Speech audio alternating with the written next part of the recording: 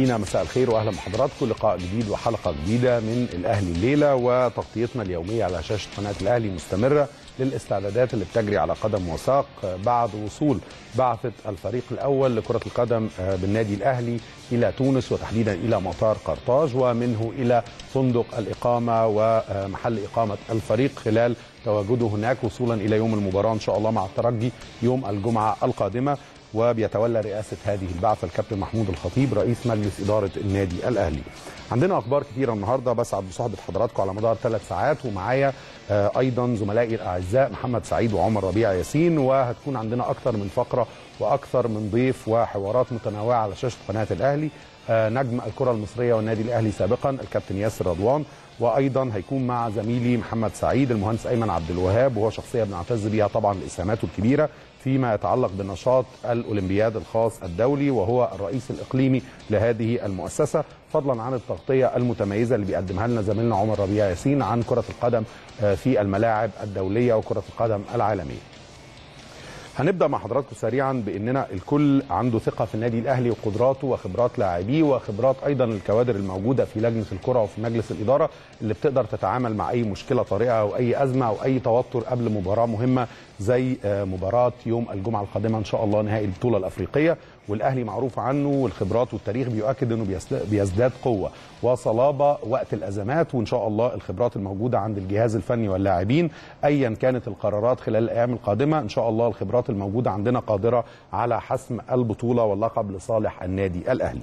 سريعا إلى أهم الأخبار اللي بنبدأ بيها النهارده هذه التغطية، الأهلي بيحتج على إيقاف أزارو في خطاب رسمي للاتحاد الأفريقي والنادي الأهلي طبعا معروف حرصه وإنه نادي لا يجادل ابدا في قضية المبادئ. هذا الخطاب مصحوب بتأكيد من النادي الأهلي بيقول النادي قام بمحاسبة اللاعب لأنه ارتكب سلوك غير رياضي لكن بيندهش أو في دهشة وتساؤلات من النادي الأهلي موجهة إلى الاتحاد الأفريقي عن سبب العقوبات. إذا كان حكم المباراة لم تصدر منه أي إدانة لوليد أزارو خلال هذه المباراة حتى لو كان صدر عن اللاعب سلوك لا يتفق مع الروح الرياضية أو المبادئ الرياضية ومبادئ أيضا النادي الأهلي.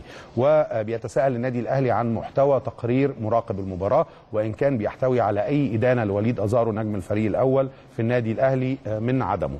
وأيضا النادي الأهلي بيقول كيف يكون الكيل بمكيالين بيتساءل عن آليات البحث أو كيف يناقش الاتحاد الأفريقي ويوجه هذا التساؤل للمسؤولين في الاتحاد؟ بيقول إزاي تتم مناقشة أمور خاصة بلوائح وقوانين ثابتة تاريخيا في ملاعب كرة القدم الأفريقية والدولية ومنها البنود الخاصة بأن اللاعب اللي بيحصل على بطاقتين انذارين أو البطاقة الصفراء لمرتين متتاليتين بيغيب عن المباراة اللاحقة أو التالية. بيقول من هذا المنطلق كيف يمكن أن ينظر الاتحاد الأفريقي وده تساؤل لدى النادي الأهلي إلى الطلب المقدم من نادي الترجي لمشاركة اثنين من نجومه أو لاعبيه في هذه المباراة يوم الجمعة القادمة رغم حصولهم على انذارين وبيقول إن هذه الأمور طبقت كثيرا على النادي الأهلي وغيره من الأندية المصرية والعربية والأفريقية في مختلف البطولات ومن غير المقبول هذا الأمر وبينتظر وهو على ثقة من وجود الكوادر لدى الاتحاد الأفريقي والعدالة في التقييم وفي اتخاذ القرارات اللي ممكن تصب في النهاية في صالح أصحاب الحق في هذه الحالة ألا وهو النادي الأهلي عندما يقول إن أي لاعب حصل على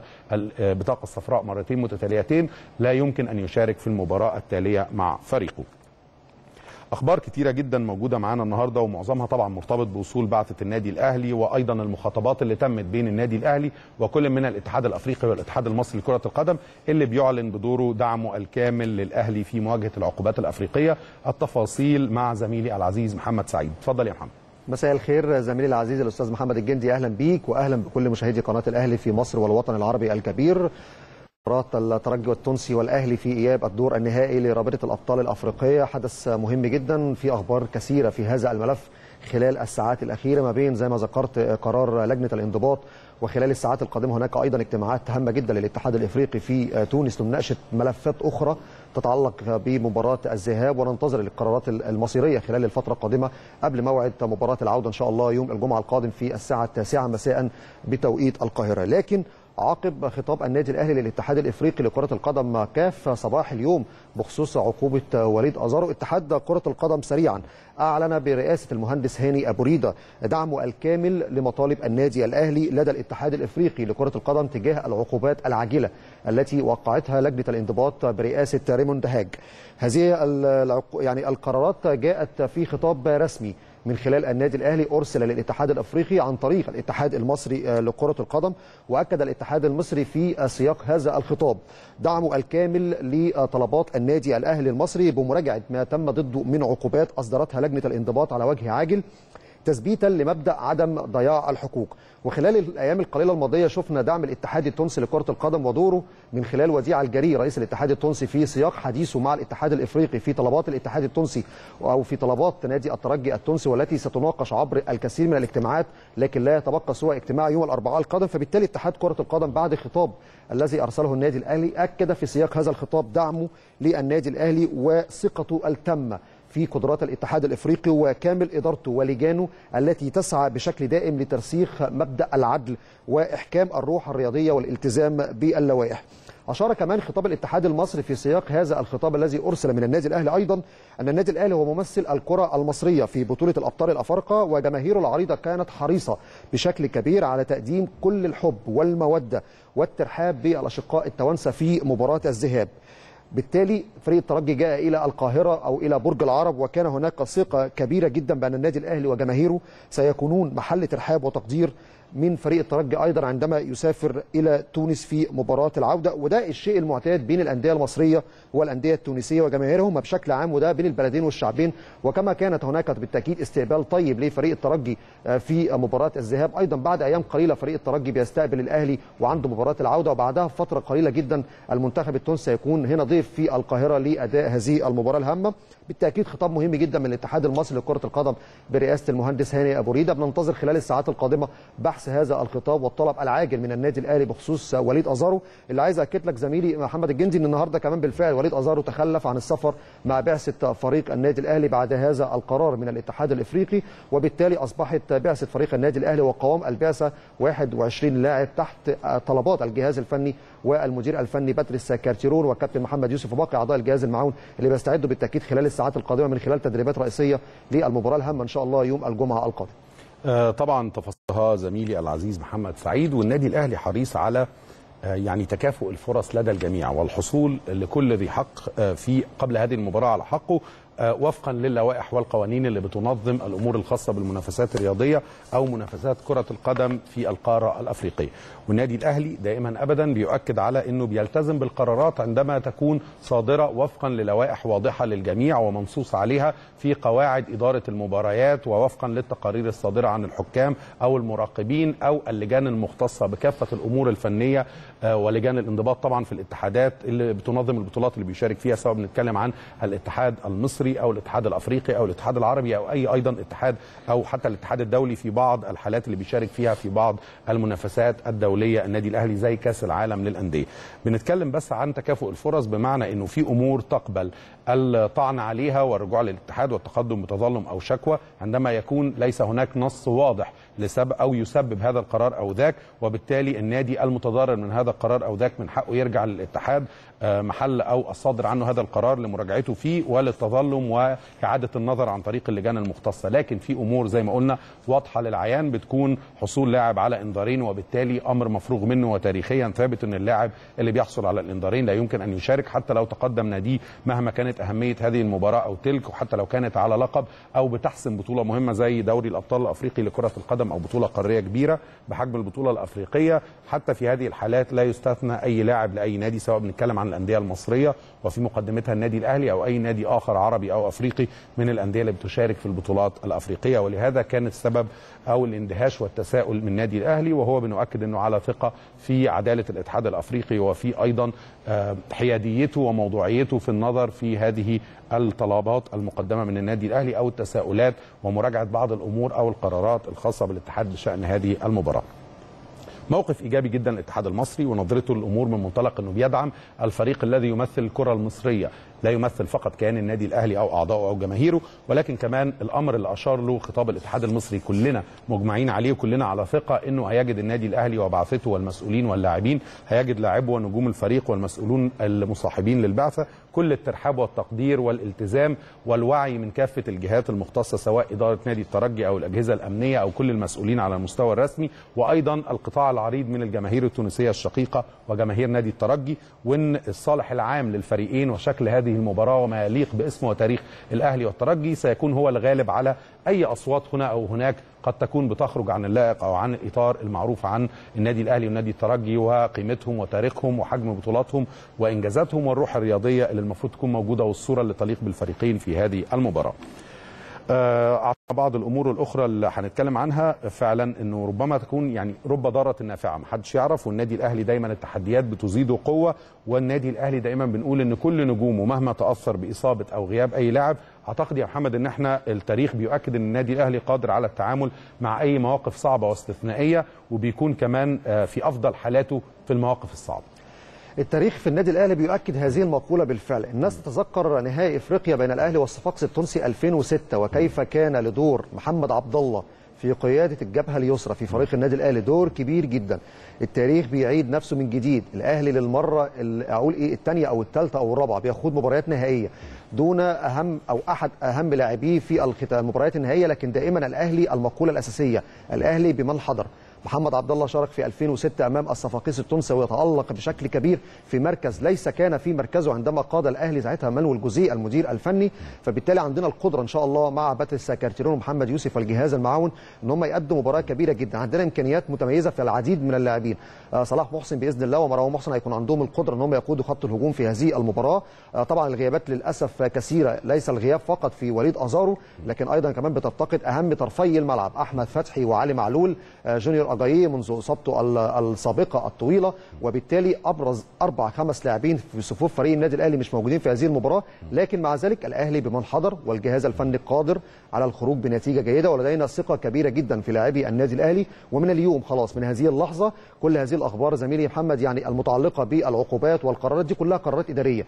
لكن الجهاز الفني واللاعبين هناك غلق تام على الفريق هناك طاقة إيجابية كبيرة جدا داخل صفوف الفريق لخوض هذه المباراة الهامة. فرصة طيبة جدا لكل لاعب ان هو يعبر عن نفسه. ويعبر عن إمكانياته. وفي نفس الوقت يكون في مسؤوليات كبيرة جدا لدى كل اللاعبين عشان يخرجوا بنتيجة جيدة. نتيجة تساعد إن شاء الله النادي الأهلي على الفوز بهذه البطولة لأن حلم كبير جدا للإدارة والجماهير والجهاز الفني واللاعبين. وعلى مدار هذه البطولة لو نتذكر كل المباريات غياب شريف إكرامي دون أي أسباب غياب جماهير النادي الأهلي عن مباراه وفاق ستيف دون أي أسباب بالتالي غيابات أخرى في مباراة النهائي. لكن إن شاء الله الأهلي قادر بالطاقة الإيجابية وقدرات لاعبيه وتحمل المسؤولية لدى الجميع إن يقدم مباراة كبيرة جدا ودي الرسالة اللي مهمة جدا توصل للعيبة والجهاز في التوقيت الحالي دون النظر لأي تفاصيل أخرى. قد يكون الجانب الآخر عايز إن إحنا نتحدث فيها كتير عشان يشتت ذهننا أو يأثر نفسيا على اللعيبة في هذه المباراة. فبالتالي عندنا ثقة في اللعيبة والجهاز الفني. هيقدروا يلعبوا مباراة جيدة جدا هيقدروا يلعبوا مباراة كبيرة جدا. الأهلي يستطيع الفوز على الترجي في رادس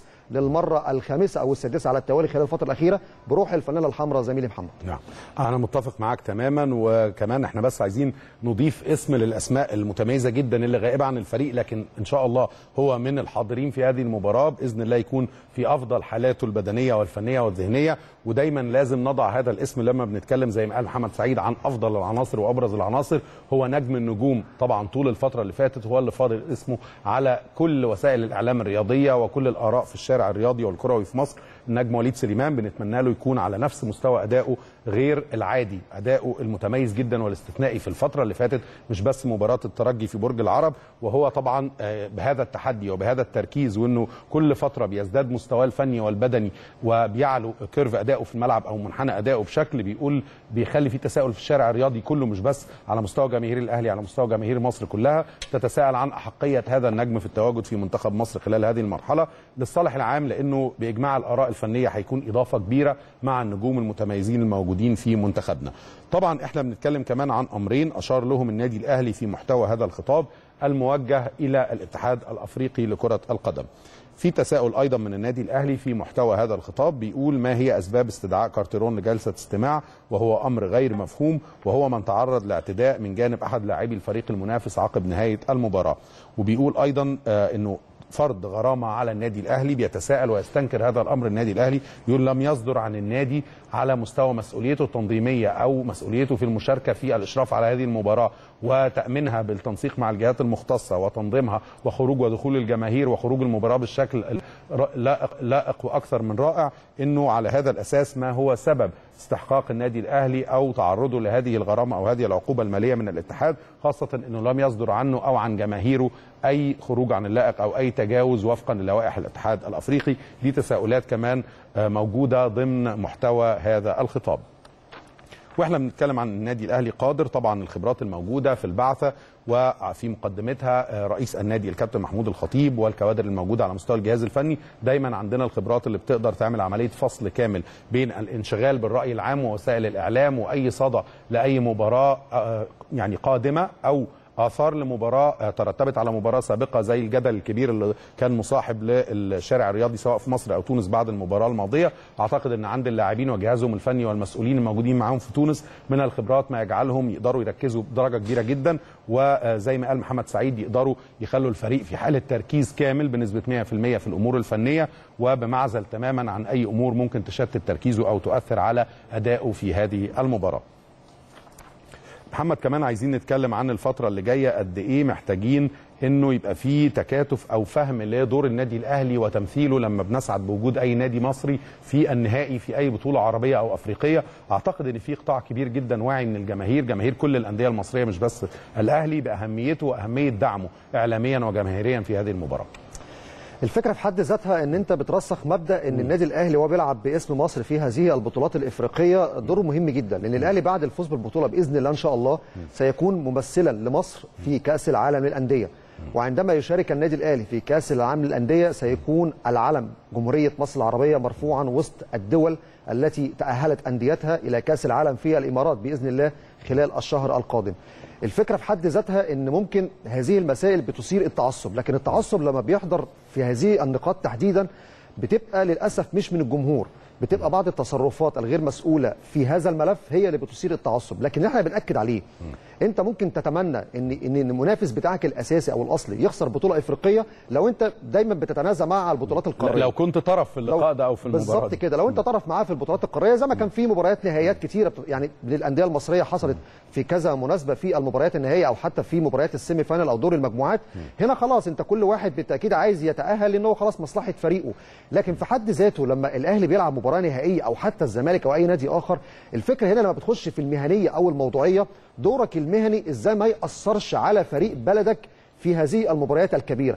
ممكن تشجع المنافس خارج إطار الملعب خارج إطار المهنة خارج إطار الوظيفة. ده شيء خلاص ده حاجة شخصية بتتعلق بيك أنت. لكن داخل إطار المهنة داخل إطار العمل إنك تؤثر بشكل مباشر في المهنية على فريق بلدك إن هو بيلعب في بطولة قارية عشان تأثر على نتيجته أو مستواه أو مشاركته في البطولات الأفريقية. هنا إحنا بن يعني أقول لك إيه بندق نجوز خطر كبير جدا في هذه المسألة. بيكون فيها مشكلة كبيرة جدا لأن بالتالي ده ينعكس على الجماهير في المستقبل القريب لكن بشكل عام الأهلي يعني مر مر كثيرا في هذه الملفات وفي هذه القرارات سواء محليا أو حتى افريقيا. هي عندنا مباراة 90 دقيقة زي ما عدت ال 90 دقيقة هنا في برج العرب ونجح الأهلي في تحقيق نتيجة جيدة والجهاز الفني قال إن هي نتيجة جيدة لكنها ليست ممتازة. هذا العنوان عنوان لدى اللاعبين والجهاز الفني هيشتغلوا عليه في مباراة العودة بإذن الله عشان يتخطوا هذه المباراة الحاسمة جدا اللي هتكون من أصعب المباريات في تاريخ البطولات القارية اللي خاضها النادي الأهلي أو بشكل عام بالنسبة للنهائيات الأفريقية أو تحديدا في دوري أبطال إفريقيا.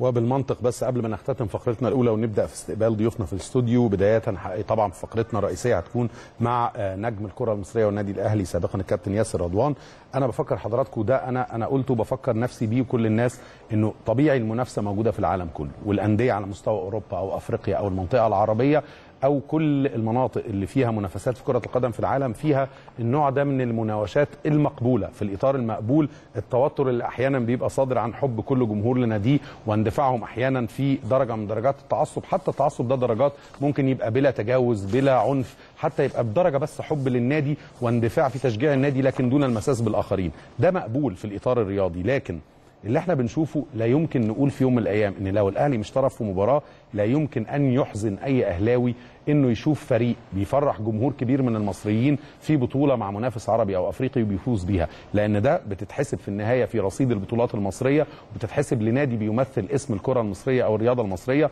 حتى لو المشجع ده مش بيشجع النادي. مشجع من الأهلي مش بيشجع نادي الإسماعيلي أو الزمالك لكن أكيد بيحترم نجاحهم لو كان في مباراة عربية أو أفريقية ما فيهاش طرف تاني مصري ما فيهاش الأهلي مش طرف فيها أكيد لن أكون حزين أو غاضب إني أشوف فريق مصري ناجح وبيضيف لرصيد البطولات المصرية حتى لو كنت أنا بعيد عن المنافسة دي. الحالة الوحيدة اللي المفروض بكون فيها حزين هي لو فريقي طرف في هذه المباراة أو هذا اللقب وخسر هذه المنافسة. لكن في كل الأحوال بيسعدنا أن تدخل طبعا في رصيد الأندية المصرية كلها مزيد من البطولات الدولية وفي مقدمتها دايما النادي الأهلي إن شاء الله. خلينا نتوقف مع فاصل قصير مشاهدينا وبعد الفاصل نعود لاستكمال فقراتنا النهارده في الأهلي الليلة ونبدأ باستقبال ضيوفنا في استوديو الأهلي الليلة ونبدأ بالكابتن ياسر رضوان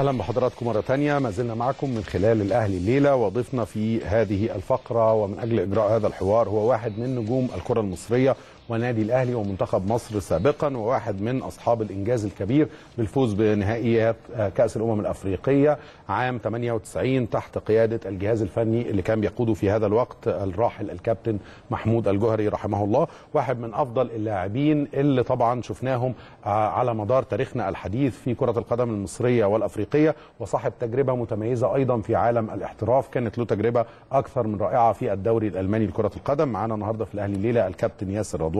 مساء الخير يا كابتن ياسر واهلا بيك وسعداء بوجودك معانا. يا ربنا يخليك أهلا بيك يا أستاذ محمد وأنا سعيد جدا أنا مع حضرتك النهارده. ربنا يخليك بتسعدنا دايما بوجودك معانا على شاشه قناة الأهلي. كابتن ياسر شايف إزاي مباراة الأهلي والترجي حتى وقتنا هذا؟ المباراة الأولى بظروفها بما أثير بعدها لحد اللحظة اللي بنتكلم فيها دلوقتي. أنا كنت شايف الموضوع عادي طبيعي جدا أثناء المباراة وبعد المباراة في نفس اليوم. التفوق بثلاثة مقابل هدف ماتش طبيعي جدا. الناس اتكلمت على ضربات الجزاء أخطاء. ممكن تكون صح وممكن تكون غلط وده وده وده حلاوة الكورة إن يبقى فيه أخطاء. الماتش عادي تاني يوم بدأ الإثارة تحصل. آه والإثارة للأسف آه الواحد بيبقى حزين إن هي بتبقى طالعة من عندنا. يعني أنت اللي بتعمل الإثارة وأنت اللي بتوصل للناس إن هم ممكن يعملوا ضدك إجراءات زي ما حصل. آه كنت أتمنى إن إحنا كلنا آه مصريين. آه فرقة بتمثل مصر في بطولة كبيرة آه زي بطولة أفريقيا. آه لازم كل الناس تبقى وراها. إعلام جمهور آه شعب كل كل حكومة اتحاد كورة كل من هو آه داخل مصر. كان لازم يبقى ورا ورا النادي الأهلي في الفترة داعم للنادي الأهلي بالظبط في الفترة اللي هو آه كان فيها. آه لكن طبعا الأحداث اللي حصلت الأخيرة دي طبعا شيء مؤسف وأنا مش يعني حتى القرارات مش مقنعة. آه مفيش بنود في في في, ال في العقوبات إن هي تقول إن العقوبات دي سليمة. لا ده هي يعني زي ما تقول إيه إرضاء شايف إن في تجني على الأهلي أو محاولة كبير. امتصاص للغضب اللي كان هو, هو زي ما حضرتك قلت يعني آه وصفته امتصاص الغضب آه وتهدئة الأجواء قبل المباراة قبل المباراة. آه أعتقد إن هي في تحامل كبير على النادي الأهلي في, في العقوبات. آه استدراك كمان المدير الفني استدعاء كارترون آه بالظبط للتحقيق شهادته أو أقواله. قبل الماتش بثلاث أربع أيام. مش برضو حاجة مش مش مش حلوة. آه في في أحداث حصلت قبل كده ولسه لحد الآن ما خدوش قرارات فيه الاتحاد الأفريقي. طب ليه اشمعنى الوقت ده واشمعنى التوقيت ده؟ آه مع النادي الأهلي. فالمواضيع مش مفهومه طيب شوية إحنا بنتمنى طبعا كلنا لكن هل تتوقع كمان يبقى في موقف إيجابي آه كرد فعل لمخاطبات النادي الأهلي الموجهة إلى الاتحاد المصري والاتحاد الأفريقي وإعلان آه أيضا الاتحاد المصري بخطاب رسمي للاتحاد الأفريقي دعمه الكامل لمطالب النادي الأهلي ولا محتوى خطاب النادي الأهلي. هل ممكن يبقى في استجابة وفقا لتوقعاتك من الاتحاد الأفريقي ولا صعب؟ لا أنا أعتقد إن الموضوع صعب يعني آه يعني صعب إن هم ياخدوا قرارات ثانية وهم آه حاسين كده إن هم هدوا الأجواء إنهم كده بالنسبة لتونس آه بالنسبة لتونس وشعب تونس طبعا وجمهور تونس لكن طبعا أنا بالنسبة لي عادي. النادي الأهلي يعني قادر إن هو يعدي المرحلة دي أو المباراة ديت عدى علينا مراحل كانت ممكن أصعب من كده. هل هل ممكن تفتكروا دلوقتي معانا كابتن ياسر موقف مريت بيه مع النادي الأهلي والنجوم من زملائك ومن جيلك من اللاعبين في صفوف الأهلي؟ موقف صعب مشابه قبل مباراة مهمة وكان فيها توتر قبلها أو كان في بعض الإشكاليات قبلها وقدمتوا مباراة أفضل مما يكون؟ هو بصراحة أنا بالنسبة لي أنا ما حصلش ال- المواقف دي لكن آه، آه، مرت علينا مواقف كتير وإحنا حتى مشاهدين مش أو جمهور من النادي الأهلي. آه، شفنا كل ما الموضوع بيبقى فيه صعوبة تأكد إن يبقى فيه خير بعديها. عندنا لعيبة على قد المستوى وعلى قد المسؤولية. جهاز فني محترم إدارة بتدير بشكل وفكر علمي وحديث. أعتقد إن الموضوع مش هيبقى مشكلة بالنسبة لنا يعني. إحنا وإحنا بنسمع كابتن ياسر رضوان ومتابعه حضراتكم للحوار هنتابع معاكم مع نجمنا الكابتن ياسر هذا التقرير تقرير عن النجمة الرابعة وعن آه، بطولات الأهلي والمنافسات وتاريخ النادي الأهلي أيضا على المستوى الأفريقي.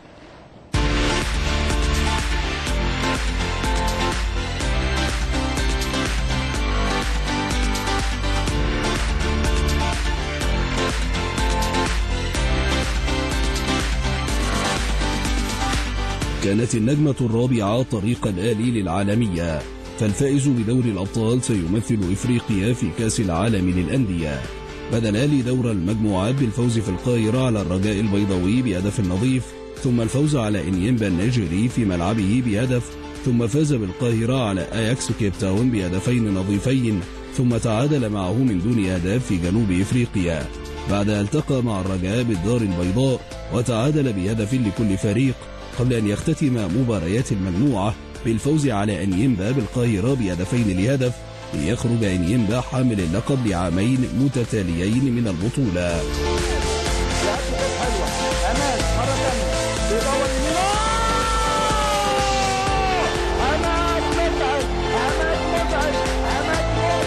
في النصف النهائي كان اللقاء مع الزمالك. في المباراة الأولى فاز الأهلي بهدفين مقابل هدف وكرر الفوز على الزمالك بهدفين نظيفين.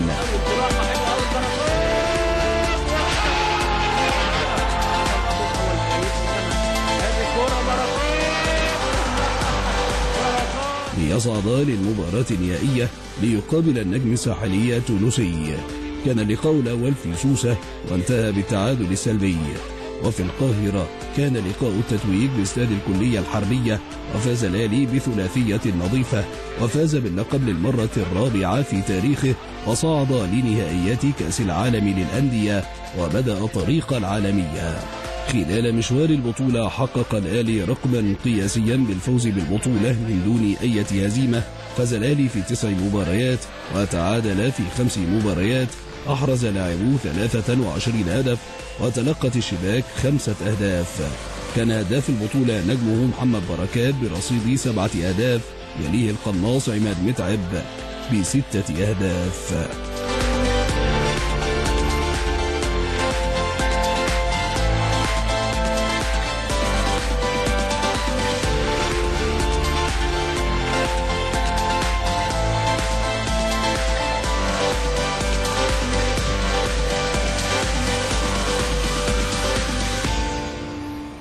كابتن ياسر حصيلة الخبرات الإنجازات اللي شفناها في التقرير ده وخبرات النادي الأهلي اسم هذا الكيان واللاعبين الموجودين في النادي الأهلي على المستوى الأفريقي. هل بتساعدهم في تحدياتهم الجديدة؟ هل ده بيفرق مع كل فريق قبل المباراة؟ أكيد طبعا المواقف السابقة بت- بت- بتأثر على على اللي جاي. بيبقى فيه خبرات كويسة في ال- اللعيبه في المواقف الصعبة اللي زي كده. آه مفيش شك ان ان ان, إن إن النادي الأهلي مر بمواقف زي ما قلت لحضرتك قبل كده مواقف أصعب من كده وقدر إن هو يتخطاها. آه أنا شايف إن الموضوع مش صعب يعني آه تفتكر مباريات كان. كان وضعكم فيها صعب جدا قبل مباراة معينة لأسباب إعلامية أو جماهيرية أو خاصة حتى بالنقاط والنتائج؟ وفاجئتوا الجميع بمستوى أعلى من العادي فيها. هو طول عمر النادي الأهلي كده يعني. أنا ده ده وجهة نظري وده اللي أنا شفته وعشته واتربيت عليه إن إحنا في أي في أصعب المواقف بنبقى دايما آه الحمد لله قد المسؤولية وبنقدر نفرح ال- ال- الجمهور والشعب المصري في في المواقف الصعبة يعني. شايف المباراة إزاي فنيا؟ مقارنة الأهلي بالترجي وإحنا متفوقين بفارق هدفين في شوط المباراة الأول في برج العرب ومتبقي الشوط الثاني. آه والله الم- المباراة طبعا مش مش سهلة بعد الاحداث الشحن والشد والجذب في الفترة ال- اليومين اللي فاتوا دول. آه لكن إحنا آه فنيا لو بصيت على المباراة الأولانية إحنا بصرف النظر عن النتيجة إحنا كنا متفوقين في الملعب كأداء شغل تكتيكي على أعلى مستوى اللعيبه بتنفذ بشكل احترافي قدرنا نهدد ال- ال- المرمى أكتر من مرة يمكن هم آه، حالات الوصول للمرمى بتاعنا كان كان قليل جدا. آه، عندهم آه، آه، لعيب كويس آه، كان آه، آه، الزوادي هو اللي أحرز الهدف. ده من أفضل اللعيبة كانت موجودة وال- والديفندر اللي هو آه، كمان اتوقف آه، ده برضو من اللعيبة الكويسة. لكن عندهم خط الظهر بتاعهم طبعا آه، آه، في مشاكل كبيرة. آه، أي كرة على في النص الملعب الثاني بتبقى صعبة على حارس المرمى. آه، نص الملعب آه، بنقدر الحمد لله نمتلكه بالعناصر الموجودة حسام آه، عاشور والسوليه آه، بيقدروا يقفلوا نص الملعب كويس جدا مع الأطراف ونزولهم آه، آه، جنبهم. آه، أنا شايف إن الماتش إن شاء الله هيمشي بشكل كويس. آه، أكيد مستر كارديرون عامل آه، آه، حساباته كويس. آه، آه، الفكرة إن إحنا الناس دلوقتي آه، أزارو مش هيلعب. آه، أحمد فتحي مش هيلعب. آه، آه، مجموعة كبيرة من اللعيبة أو النجوم آه، اللي بيعتمد عليها ال- ال- الفريق أو اللي إحنا متعودين نشوفهم في في الفرقة الأساسية آه، مش هيبقوا طب موجودين. خلينا نتكلم بصراحه أزارو عنصر مميز جدا في هجوم الفريق طول الفترة اللي فاتت على مستوى الدوري والبطولة الأفريقية. لكن الأهلي مليان بالنجوم وعنده كوادر تانية في خط الهجوم. مدى التأثير آه، لأزارو لغياب أزارو على الفريق آه، أزارو على الفريق وأيضا مدى إمكانية إن النجوم الموجودين يكونوا على نفس مستوى الأداء وأفضل؟ آه، مفيش شك طبعا آه، غياب آزارو آه، آه، آه، ممكن يسبب مشكلة للجهاز الفني لكن أعتقد إن إحنا برضو إن الأهلي عمره ما كان بيقف على لعيب. إحنا بنلعب بشكل جماعي طول الفترات أو طول المباريات. آه، آه، مفيش شك إن وجوده برضو كان هيساعد في في بشكل كويس في تبقى- في فعاليه آه ال- ال- الناحية الهجومية. آه، لكن طبعا الناس اللي موجودة أنا شايف الناس اللي قاعدة بره أو الناس البودة اللي كانت بتلعب برضو في الفترات السابقة آه، زي مروان وصلاح محسن. محسن على قد المستوى وشريف آه وعندك برضو نزل آه آه آه اللعيبه الماتش اللي فات وظهرت بمستوى كويس آه محمد هاني آه آه يمكن إحنا كنا قلقانين شوية لأن طبعا آه خبرات وحمودي فتحي وميدو جابر، وحمودي يعني كل وميدو. لاعبي الوسط في في لعيبة. كويسة موجودة آه يعني كان في سنة قلق من الجمهور أنا ببقى بتفرج مع الناس وأصدقائنا وكده فبيبقى في سنة قلق في خروجة أحمد فتحي ونزولة محمد هاني آه بما إن محمد هاني لسه صغير لكن خبرات أحمد فتحي ووجوده مع الفرقة بتديله برضه دفعة وقوة آه آه كبيرة.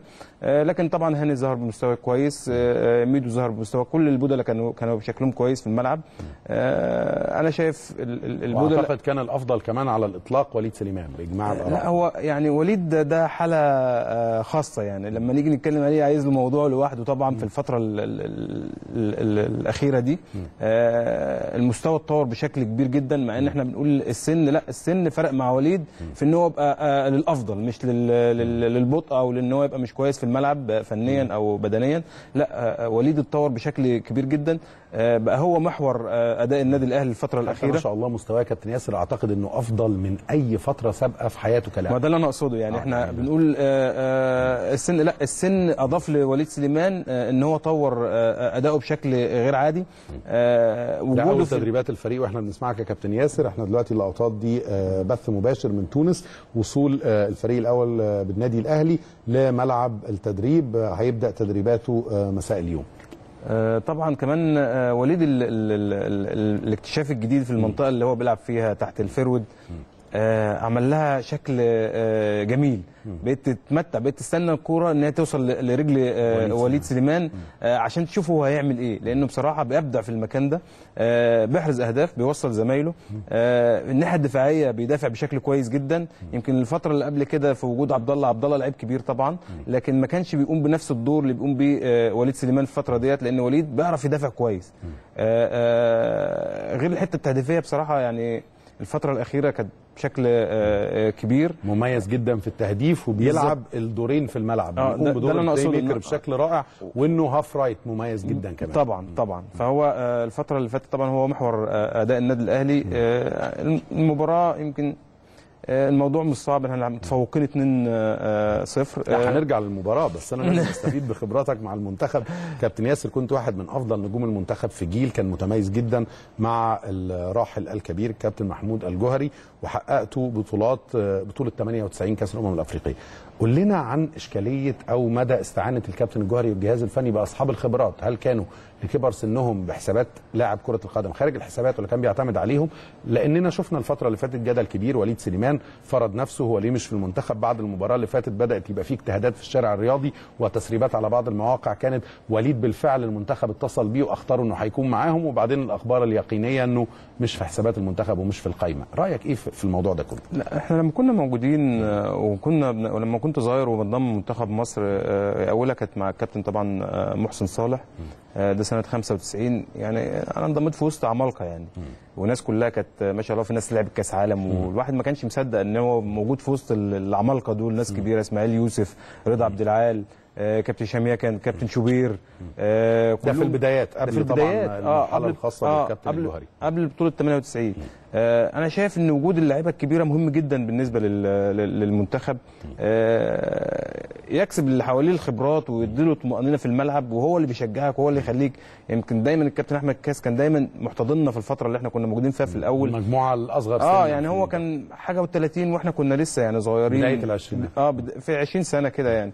آه كان هو اللي بيشجعك وهو اللي في الملعب هو اللي بيديك الحماس وهو اللي بيديك الثقة. كابتن حسام كابتن إبراهيم. آه في بطولة 98 كان معانا كابتن هاني رمزي كابتن آه آه حسام آه دول آه كانوا أكبر اتنين في ال- في الفرقة. آه لكن كانوا 32 سنة كابتن حسام حسن وكابتن هاني كان 31 آه، سنة. بالظبط. ف 98. آه، آه، ومعظم بقية الفرقة بقى 26 27 آه، لحد ما توصل للعشرينات يعني. فوجود الخبرة مهم جدا آه، خاصة لما يكون بكفاءة زي آه، وليد سليمان ما ينفعش آه، يعني أهلي زمالك مصر إسماعيلي كل انديه مصر وكل جمهورهم يقول لك وليد سليمان رقم واحد في مصر دلوقتي. وتفاجئ إن هو مش موجود في المنتخب. طب آه، نسأل عن السبب. ما ما فيش سبب مقنع. لا ده كان كابتن هاني أنا بصحح كمان 98 كان آه، كابتن هاني رمزي آه، كان 29 سنة. 29 هو سنة، آه. هو مواليد آه، 69 مظبوط. فالبطولة دي أنا بس اختلط عليا الأمر مع لاعب آخر. كان كابتن حسام هو مواليد 66 وكابتن هاني 69 فكانوا 32 و29 سنة. يعني كان في تكامل حسب كلامك يا كابتن ياسر بين ال- اللاعبين أصحاب الخبرات في المنتخب وجيل الشباب عملية الإحلال إحنا برضه يا أستاذ. محمد مش يعني الخبرات ما هو خبرات وأداء. يعني هم قادرين كمان. هو إن- فت. آه بالظبط يعني. بالظبط. أنا اللي أنا مش يعني يعني ما فيش رد مقنع طلع من الجهاز الفني في استبعاد وليد سليمان. إيه إيه السبب؟ إيه السبب ال- ال- اللي هو ما بيبقاش موجود في منتخب مصر بعد ال- الطفرة اللي عاملها في ال- في, في, في النادي الأهلي وفي في, في بطولة أفريقيا؟ كابتن حسام كانت قال له اعتزل بقى كفاية عليك. وناس هجمته في الصحافة الرياضية مظبوط. وأصيب وغاب فترة عن الملاعب ورجع كسر الدنيا سنة 98 مظبوط. وكتب له أحد كبار النقاد أنا آسف إن رأيي كان إنك خلاص خد هداف. خد هداف البطولة كمان في البطولة دي وكان من العناصر المهمة والرئيسية في إن إحنا يعني ناخد الناس قالت. إنها أخطأت في تصورها إنه لازم يعتزل إحنا كنا بنلعب بطولة في تايلاند وخسرنا بضربات الجزاء من الدنمارك في النهائي وكابتن حسام هو اللي كان ضيع ضربة الجزاء. فرجعنا في مصر آه، كان قبل البطولة بحوالي آه، أسبوعين تقريبا يعني. فرجعنا لقينا هجوم آه، عاصف على الكابتن حسام طبعا بشكل غريب. لكن طبعا التوفيق بتاع ربنا واجتهاده وحماسه وخبرته في الملعب آه، وصلته إن هو ياخد هداف البطولة يعني. وليد سليمان عنده نفس الاجتهاد ولا لا؟ والتحدي اللي دخل فيه مع نفسه إنه في فترة بيقدم فيها أفضل مما كان وهو لاعب عنده 25 سنة. بص هو حسام طبعا كابتن حسام وكابتن إبراهيم أنا ما شفتش حد في حماسهم. لكن اللي أنا بشوف فيه وليد دلوقتي ده يعني حماس مفرط كمان يعني. يعني يقدر يعمل حاجات كتير جدا. يعني اديله فرصة. ما, ما تمسكوش ما توقفوش. إحنا إحنا بنتكلم على منتخب مصر. يعني إحنا بنتكلم دلوقتي على منتخب مصر. لا هو هو مفيد جدا لمنتخب مصر. هو لازم يبقى موجود في منتخب مصر. ليه ما يبقاش موجود؟ إيه السبب؟ شا- شايف إنه ده فنيا مش فير مش عادل إنه وليد خالص. مش لا, لا فنيا ولا بدنيا. عشان بس موضوع السن لا هو هو بيأدي بدنيا بي- كويس جدا في الملعب. 90 دقيقة ما بيقفش. بيدافع زي ما بيهاجم. ومع ذلك مش موجود. طب إيه السبب؟ يعني أتمنى إن إحنا نعرف إيه السبب بالظبط ال- وإحنا في النهاية بنتكلم الصالح العام الرؤية اولا وأخيرا. والقرارات الفنية طبعاً. للجهاز الفني. لكن إحنا بنتكلم للصالح العام. إحنا عايزين منتخب مصر يبقى فيه أفضل عناصر ويبقى اللاعب بره على الخط جاهز والبديل يبقى على مستوى اللي في الملعب. شفنا مباريات كان بينزل فيها بديل يعني بنلاقي فيه مشكلة. أكيد. إن الدكة بره البدلاء عليها مش على نفس المستوى اللي في الملعب. وأحياناً طبعاً. الجهاز بيبقى في حالة حيرة في بعض المباريات. أكيد. آه آه لازم طبعا ال- ال- الناس اللي بتبقى يعني ساعات أنت بتبقى مقعد لعيب جنبك عشان ينزل يغير لك مجريات المباراة. يمكن الفترة اللي, قبل مستر كاردينال ما يجي آه كان وليد في بعض الماتشات بيقعد بس لما كان بينزل كان بيغير بيعمل فرق كبير جدا. بيغير المباراة بيغيرها فعلا. ده ده ده ده حاجات ثابتة وحاجات موجودة ومباريات موجودة. يعني عشان بس إحنا الناس ما تقولش إحنا مايلين عشان وليد سليمان أهلي وإحنا أهلي لا. ده بينزل يغير بينزل. بأهداف كمان مش طب دلوقتي. أنا الراجل بيلعب 90 دقيقة. وبيبدأ زي بينهي زي ما بيبدأ. إيه عدم وجوده في المنتخب؟ ليه؟ إيه المطلوب منه تاني عشان يبقى بالظبط؟ يعني. طيب كابتن ياسر هنتكلم عن ال- الغيابات. عدد من العناصر وليد أزارو. كلها مميزة طبعا زي ما قال زميلي محمد سعيد في بداية الحلقة النهارده.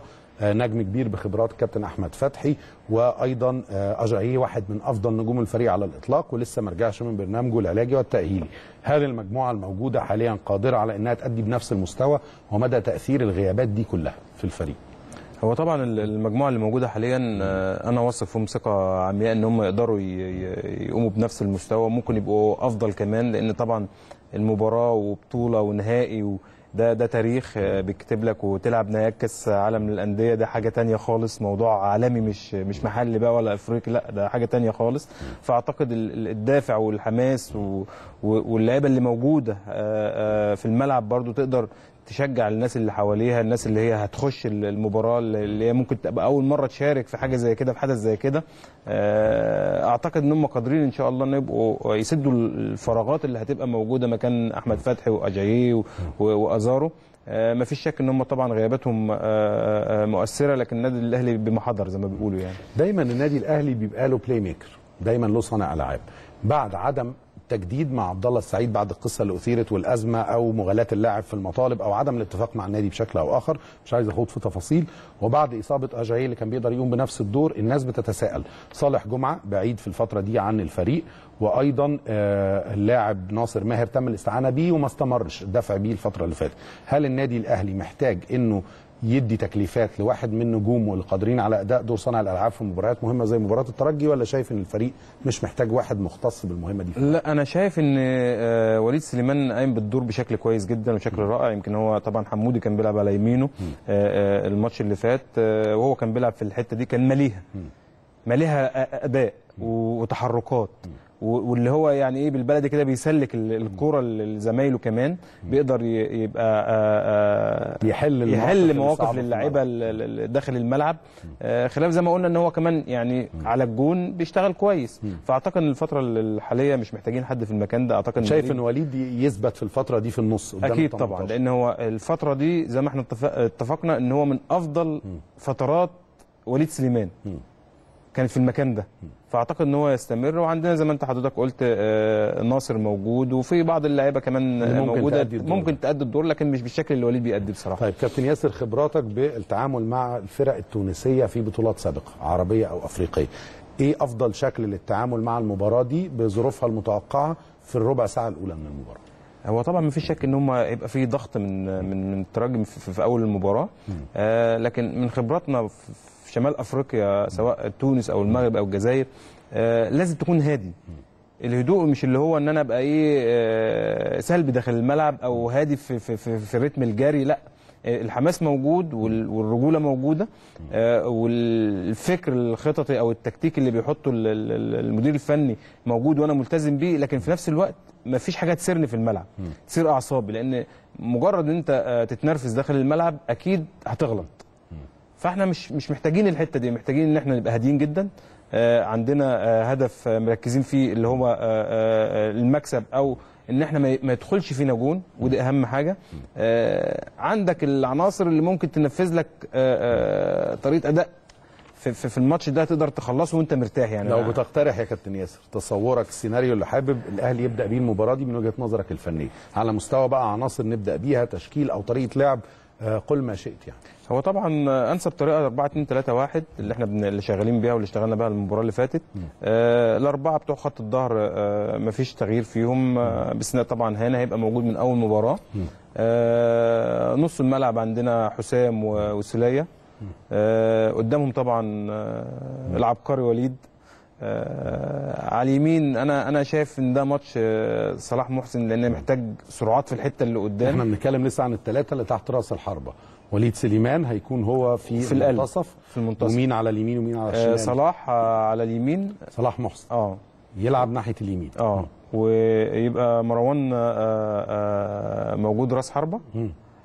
فاضل اللعيب اللي هيلعب على الشمال. على شمال وليد سليمان اللعيب اللي هيلعب شمال عندنا عندنا ميدو جابر عندنا حمودي عندنا عدد من العناصر. عندنا عندنا لعيبة كويسة جدا و... بس أنا أنا شايف إن الماتش ده محتاج في الحتة اللي قدام سرعات. لأن أنت هتبقى مضغوط بحكم إنك بتلعب في ملعبه. هو عنده آه، الحماس والدافع آه، إن هو عايز يعوض فهتلاقيه ضاغط باستمرار. فهتلاقي في عندنا مساحات غياب علي معلول كمان ما آه، اتكلمناش بالظبط. عن غياب علي معلول آه، عنصر آه، مؤثر طبعا عنصر جدا مؤثر. خاصة في الجوانب الهجومية. في, في بناء الهجمة كمان. في بناء الهجمة. لكن أنا شايف إن أيمن أشرف آه، آه، قدر يملاه وأيمن. عامل ماتشات. آه، هايلة. بصراحة يعني آه، وهو جوكر عندك بيقدر يلعب آه، مساك وبيقدر يلعب آه، باك ليفت آه، ممكن يلعب نص ملعب. فأيمن عنده آه، حلول كتير وأنا شايف إن هو آه، يعني شايف أيمن في المباراة دي مساك ولا باك ليفت؟ لا باك ليفت باك ليفت آه. محتاجين أيمن آه. و... لا أنا شايف إن المساكين المساكين. طبعا آه، كوليبالي و- وسعد وسعد. ماشيين كويس وكان في تفاهم آه، بشكل كبير المباراة الأخيرة آه، وعملوا ماتش كويس آه، ف- فأيمن يبقى موجود لكن طبعا غياب معلول طبعا أكيد زي ما حضرتك قلت فارق في ال- في الناحية الهجومية يعني هنا مروان كبير. محسن هو راس الحربة وتحته على اليمين صلاح محسن وليد سليمان والثالث هو دي النقطة اللي وقفنا أنا عايز شريف بصراحة. عايز شريف. آه يعني أنا أنا شايف إن السرعات هتفرق عايز. شباب في المباراة دي وانطلاقات وسرعات عايز بالظبط. الأكل لأن عندك الخبرات كمان موجودة. يعني عندك مروان آه، خبرة وليد م- وليد سليمان حسام. آه، السوليه ما بقاش صغير دلوقتي ما شاء حسام الله. عاشور خبرة كبيرة. بالظبط. عندك آه، كوليبالي برضو في الحتة اللي ورا. سعد سمير لاعب عنده خبرة. آه، سعد سمير. فيبقى أنت كده عملت توليفة كويسة فيها كمان سرعات في الحتة ال- الهجومية. بحيث انت لما تجيلك حاجة قدام تلاقي ناس تلاقي أكثر من كمان يا عدد كابتن ياسر متهيألي ممكن لاعب عمره مش كبير. من آه، اكتسابه الخبرات سريعة بسرعة محلية أو دولية زي أيمن أشرف بقى بيتحسب من نقاط القوة في الفريق مشاركاته مع المنتخب واعتماد الأهلي عليه في أكتر من مركز وثباته بقى من عناصر الخبرة دلوقتي في في الفريق في حتى لعيب لو سنه مش كبير. في لعيبة ذكية يا أستاذ محمد يعني بيقدر ياخد ال- الخبرات بس مش مش عملي ممكن ياخدها نظري. يعني ممكن أنا لما أجي أتكلم معاك في موقف حصل معايا أو موقف حصل مع حضرتك بتقول لي عليه لما يتكرر معايا تعرف عارف أنت اتصرفت إزاي. فأقدر أتصرف فيه. فزي ما حضرتك قلت ال- ال- السن مش مش عامل أساسي في إنك تس- تكتسب خبرات. لا هو آه، ال- ال- المخ والتفكير هو ال- ال- المهم في الموضوع كله. أنت بتكتسب ال- الكلام ده بسرعة ولا بتاخد فترة عما بتبدأ تت- تتعود عليه أو تتأقلم عليه. فده اللي بيفرق من لعيب للعيب يعني. الأهلي هيبدأ المباراة دي بشكل عادي خالص متوازن ولا هيبدأ عنده آه، واخد آه، يعني إجراءات احترازية كده واقف يدافع شوية لغاية ما يشوف ويمتص هجوم الترجي؟ خلينا نشوف تصورك لشكل بداية المباراة من الفريقين. آه، معانا من تونس زميلنا كريم أحمد مراسل قناة الأهلي. مساء الخير يا كريم واهلا بيك. بيك زميلي محمد الجندي في البداية وبكل مشاهدي وجمهور النادي الأهلي في كل مكان. قول لنا آخر التفاصيل من خلال وجودك مع الفريق في تونس ويعني اطلاعك على كل المستجدات الخاصة باستعدادات الفريق. يمكن طبعا استعدادات على قدم وساق بالنسبة للنادي الأهلي. كالعادة زميلي محمد بنضع كل مشاهدينا في الصورة أجواء وكواليس وأخبار فريق بعثة النادي الأهلي هنا في تونس استعدادا للمباراة الهامة والمرتقبة نهائي دوري أبطال أفريقيا الأهلي والترجي التونسي يوم الجمعة 9 نوفمبر. إن شاء الله الساعة 8 مساء بتوقيت تونس التاسعة مساء بتوقيت القاهرة. يمكن في البداية الرحلة انطلقت من القاهرة في الساعة الثامنة صباحا أو صباح اليوم. الرحلة يمكن كانت 3 ساعات و15 دقيقة أو 3 ساعات و20 دقيقة. يمكن طبعا الرحلة ما استغرقتش وقت طويل جدا لكن الأمور كانت ماشية بشكل مطمئن بالنسبة لبعثة النادي الأهلي. حاله تركيز كبيره جدا بيفرضها الكابتن محمد يوسف كابتن محمود الخطيب أيضا كمان رئيس مجلس إدارة النادي الأهلي ورئيس البعثة مجلس الإدارة بالكامل بيدعم فريق النادي الأهلي في هذه المباراة الهامة والصعبة جدا. كلنا ثقة كبيرة في الجهاز الفني في لعيبة النادي الأهلي إن شاء الله بإذن الله الكأس الإفريقية التاسعة تكون في دولاب بطولات النادي الأهلي. لكن لو بكلمك كمان زميلي محمد يمكن رغم وصلنا في المطار مطار بتونس. كان في طبعا كالعادة بعض التجمعات بالنسبة لجمهور الترجي التونسي. بعض الإشارات طبعا يمكن لعيبة النادي الأهلي متعودة عليها. يمكن طبعا في بعض الاستياء شوية من جمهور الترجي التونسي. زي ما انت عارف بعض الأخبار والإعلام كانت مصدرة الصورة بالصورة بشكل خاطئ شوية بالنسبة لجمهور الترجي وأيضا جمهور النادي الأهلي. لكن يمكن كان في استقبال مميز. السفير كان موجود طبعا. سفير مصر هنا في تونس. سفير نبيل الحبشي كان يمكن بيعد على قدم وساق بالنسبة لكل الأمور الخاصة بفريق النادي الأهلي. تنسيق كان على أعلى مستوى مع الكابتن محمود الخطيب رئيس مجلس الإدارة ورئيس البعثة على كل الترتيبات الخاصة بفريق النادي الأهلي.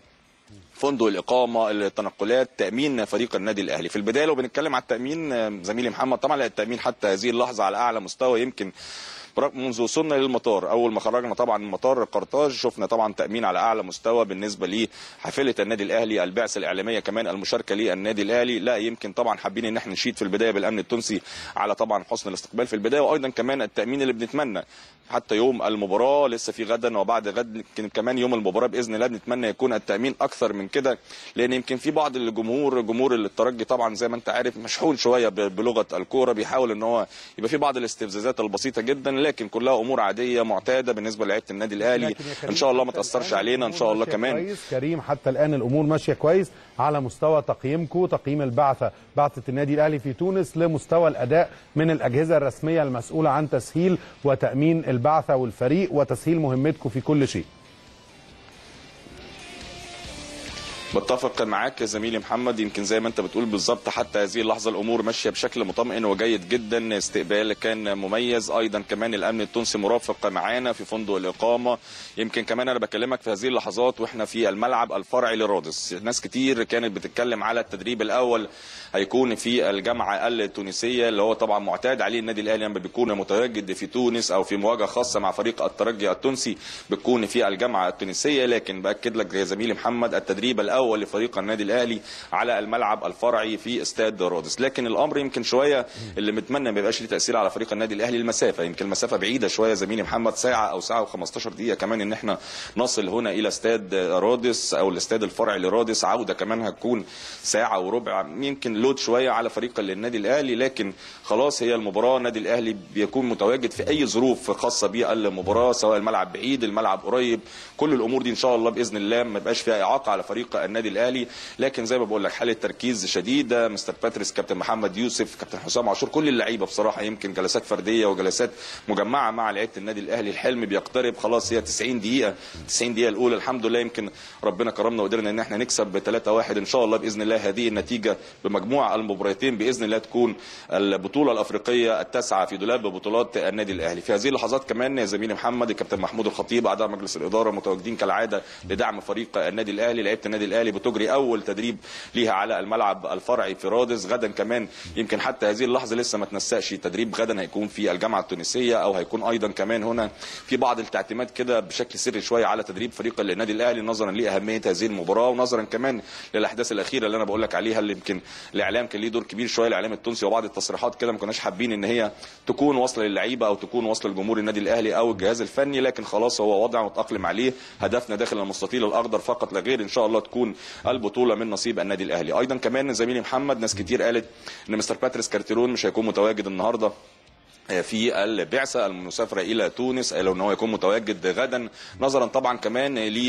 على خلفية الأحداث الأخيرة زي ما إحنا عارفين كان مستر باتريس مطلوب لجلسة استماع في الاتحاد الأفريقي. زي ما إحنا عارفين طبعا وليد أزارو كمان أيضا بالنسبة للايقاف مباراتين. لكن بأكد لك مستر باتريس متواجد معانا في مطار القاهرة متواجد معانا في تونس. يمكن كمان زي ما أنتم شايفين تدريبات النادي الأهلي مستر باتريس بيحاول إن هو يعني يحط كل اللاعبين في الصورة بيخلي اللاعبين بشكل يمكن مميز جدا. جدا إن هم يركزوا داخل المستطيل الأخضر في فصل تام وكبير جدا للاعيبة النادي الأهلي سواء حراسة المرمى سواء لعيبه النادي الأهلي يعني ده, ده كلام مهم قوي يا. كريم اللي بتقوله دلوقتي إن شاء الله على الأمور جيدة. الأمور جيدة وبتسودها حسب كلامك حالة من التفاؤل والتركيز والأجواء الإيجابية على مستوى المسؤولين وبقيادة البعثة بقيادة الكابتن محمود الخطيب والمسؤولين في مجلس الإدارة المصاحبين للكابتن الخطيب والفريق في هذه الرحلة إلى تونس. وعلى مستوى الفريق والجهاز الفني خلاص بدأت عملية الفصل الكامل بين الأحداث واللي بيرد عليها الأمور والمخاطبات الرسمية بين النادي الأهلي والاتحاد المصري ونظيره الأفريقي والأمور الفنية الخاصة بالمباراة. في تركيز تام خلاص على البعد الفني.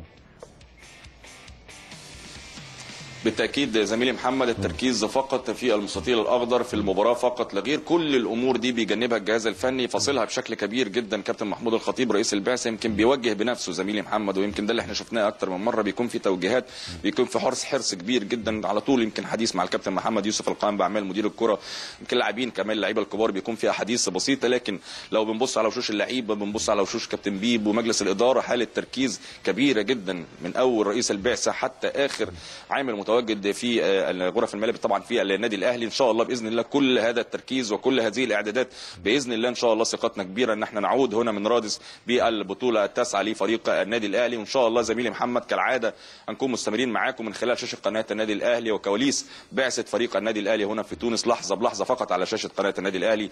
عودة ليك زميلي محمد ولو فيها استفسار؟ أنا معاك برضه. لا أنا بشكرك جدا وإحنا طبعا هتمدونا بكل المستجدات إن شاء الله على مدار كل الأيام اللي جاية وصولا إلى آه، ليلة المباراة الجمعة كل التحية والتقدير لك زميلي العزيز كريم أحمد وللبعثة الإعلامية زملائك والجهد المبذول من أجل طبعا آه، مد شاشة القناة والسادة المشاهدين بهذه المعلومات ومتابعة الفريق آه، خلال الأيام القليلة القادمة إن شاء الله وصولا إلى يوم المباراة. بشكرك يا كريم شكرا جزيلا. كابتن ياسر تعليقك على كل المعلومات اللي قالها لنا زميلنا كريم أحمد. لا أنا شايف طبعا ال- الأمور والأجواء آه، ماشية بشكل آه، طبيعي باستثناء طبعا حتة المسافة اللي هي من من مكان الإقامة للملعب إن هي ساعة ساعة وربع دي آه، بالنسبة مسافة للاعيب كبيرة شوية، أو مسافة كبيرة كبير شوية. لا مش شوية ده كبيرة. آه، إن أنا رايح تمرين ساعتين ونص قبل الموضوع يعني آه التدريب. بالظبط يعني. فالموضوع ده يمكن هو ده الحاجة الصعوبات الوحيدة اللي بتقابل ال- البعثة. لكن يعني عندك تحفظ عليها على المسافة آه بالظبط يعني لأن اللعيب بيبقى رايح التمرين مش محتاج إنك تركبه مثلا الباص لمدة ساعة وربع يعني ده الموضوع صعب جدا. حتى وانت راجع كمان بيبقى الموضوع آه، تقيل جدا على لعيب الكورة. لكن آه، باستثناء ال- ال- الموضوع ده كل ال- الأجواء آه، ماشية بشكل طبيعي. آه، شايفين إحنا قدامنا ال- ال- الملعب آه، كويس. مفيش آه، حاجة إن هي تدعي للخوف على ال- الناس اللي موجودة هناك أو البعثه طيب هنرجع آه، نكمل كلامنا معاك يا كابتن ياسر. قبل ما نستقبل آه، المشاركة ومداخلة زميلنا كنا بنتكلم عن نتكلم عن بعض الأمور الفنية اللي بتتوقع المباراة تبدأ بيها. متوقع الأهلي يبدأ إزاي والترجي يبدأ إزاي المباراة؟ آه، آه، زي ما قلت لحضرتك يمكن التشكيل اللي إحنا آه، اخترناه يمكن ده ده وجهة نظري لكن أنا أعتقد إن اسلام محارب هيلعب كمان ناحية اليمين مكان آه إحنا ما اتكلمناش فعلا عن الإسلام. آه, آه بالظبط يعني هو هو عنده آه، كمان الدور الدفاعي لا لعيب. من اللعيبة المؤثرة بشكل كبير جدا الفترة الأخيرة في مع النادي الأهلي.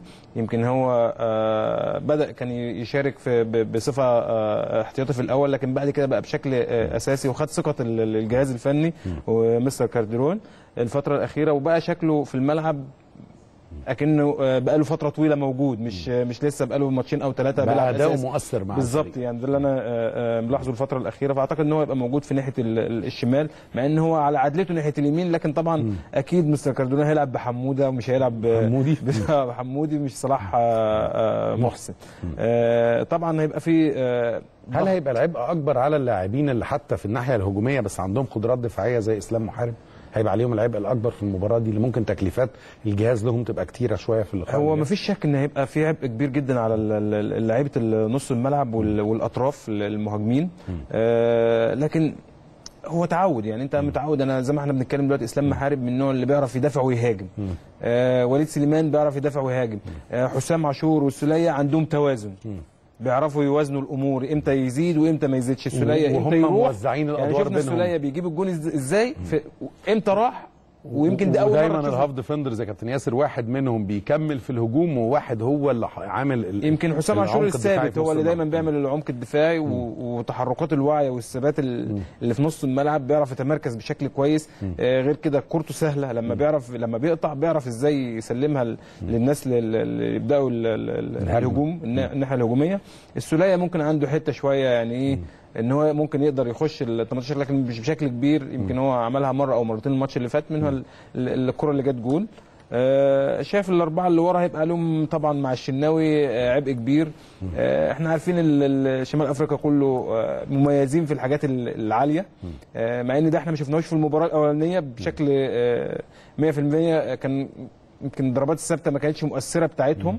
أخطر فرص الترجي لو في فرص تذكر في هذه المباراة كانت تسديدات على المرمى بالظبط. أو تسديدة في العارضة بالظبط لكن الحاجات العرضية اللي. اللي إحنا متعودين أساسا إن هم مميزين جدا فيها في الضربات الثابتة الكورنر أو ال- الفاول ما كانتش موجودة والحمد لله إحنا طبعا عندنا تعاملنا معاها كمان الدفاع آه بالظبط. يعني عايزين نقول إن إحنا آه، الشناوي مديك طمأنينة آه، طوله آه، برضو تركيزه في الطلوع وفي وإن هو يمسك الكورة أو يعملها box دي حاجات برضو آه، بتفرق في ال- في المباريات زي سعد وكوليبالي مساكين آه، التوقيت آه، الكور العالية ممتازين فيه. آه، حتى على الأرض آه، بيعملوها بشكل كويس. آه، طبعا هاني من من اللعيبة كويسة جدا. آه، الباكات الواعدة في ال- في المستقبل إن شاء الله ومن الباكات اللي بتعرف آه، تغطي من الناحية العكسية كويس. صح. وأيمن بحكم إن هو بيلعب مساك و back left فهو بيقدر يعمل حتة التغطية دي بشكل كويس يعني. طيب الترجي. طريقة أداء فريق الترجي ونقاط القوة وأيضا القصور اللي ممكن استغلاله في صفوف الترجي حسب ما شفت في المباراة اللي فاتت. أنا أنا حسب ما يعني ال- ال- المباراة الأولانية دي يمكن مش بالنسبة لهم أنا أعتقد إن هم مش هيكرروها لأنها طب ما بانش حاجة خالص لفرقة الترجي آه، سواء هم كان في شوية عشوائية في في الناحية الهجومية. آه، ده خلاف إن خط ضرهم وحش لكن بحكم إن هم بيلعب في ملعبه وبيلعب النهائي وفي وسط جمهوره فهيبقى في اندفاع لل- للناحية الهجومية بشكل كبير. آه، وده أكيد إحنا يعني أكيد مستر كاردونا عامل حسابه في في في الموضوع ده. آه، لكن هم ما عندهمش اللعيب اللي تقلق منه قوي يعني اللي هو آه، اللي هو فردي عالي قوي آه اللي هو فردي ممكن يعمل جداً. لك مشاكل لأن طبعا آه، الحاجات العالية زي ما إحنا متفقين عندنا الحمد لله الحتة ال- الدفاعية في النواحي ال- العالية دي هنبقى مم- ممكن يكون أفضل عناصر الفريق يعني اللي كان بيقال الفترة اللي فاتت من آراء كتير جدا إن هو طه ياسين بس ما كانش في أفضل حالاته ما كانش باين في. الماتش ال- آه، الأولاني. ما- ظهرش آه، الزوادي هو كان أفضل واحد في, في, المباراة ومع إنه ما كانش فيه خطورة كبيرة على ال- ال- الجول لكن بحكم إن هو جاب ال- ال- الجون وبحكم إن هو لمس كام كورة كده في الناحية الهجومية خد كام ضربة ثابتة يعني.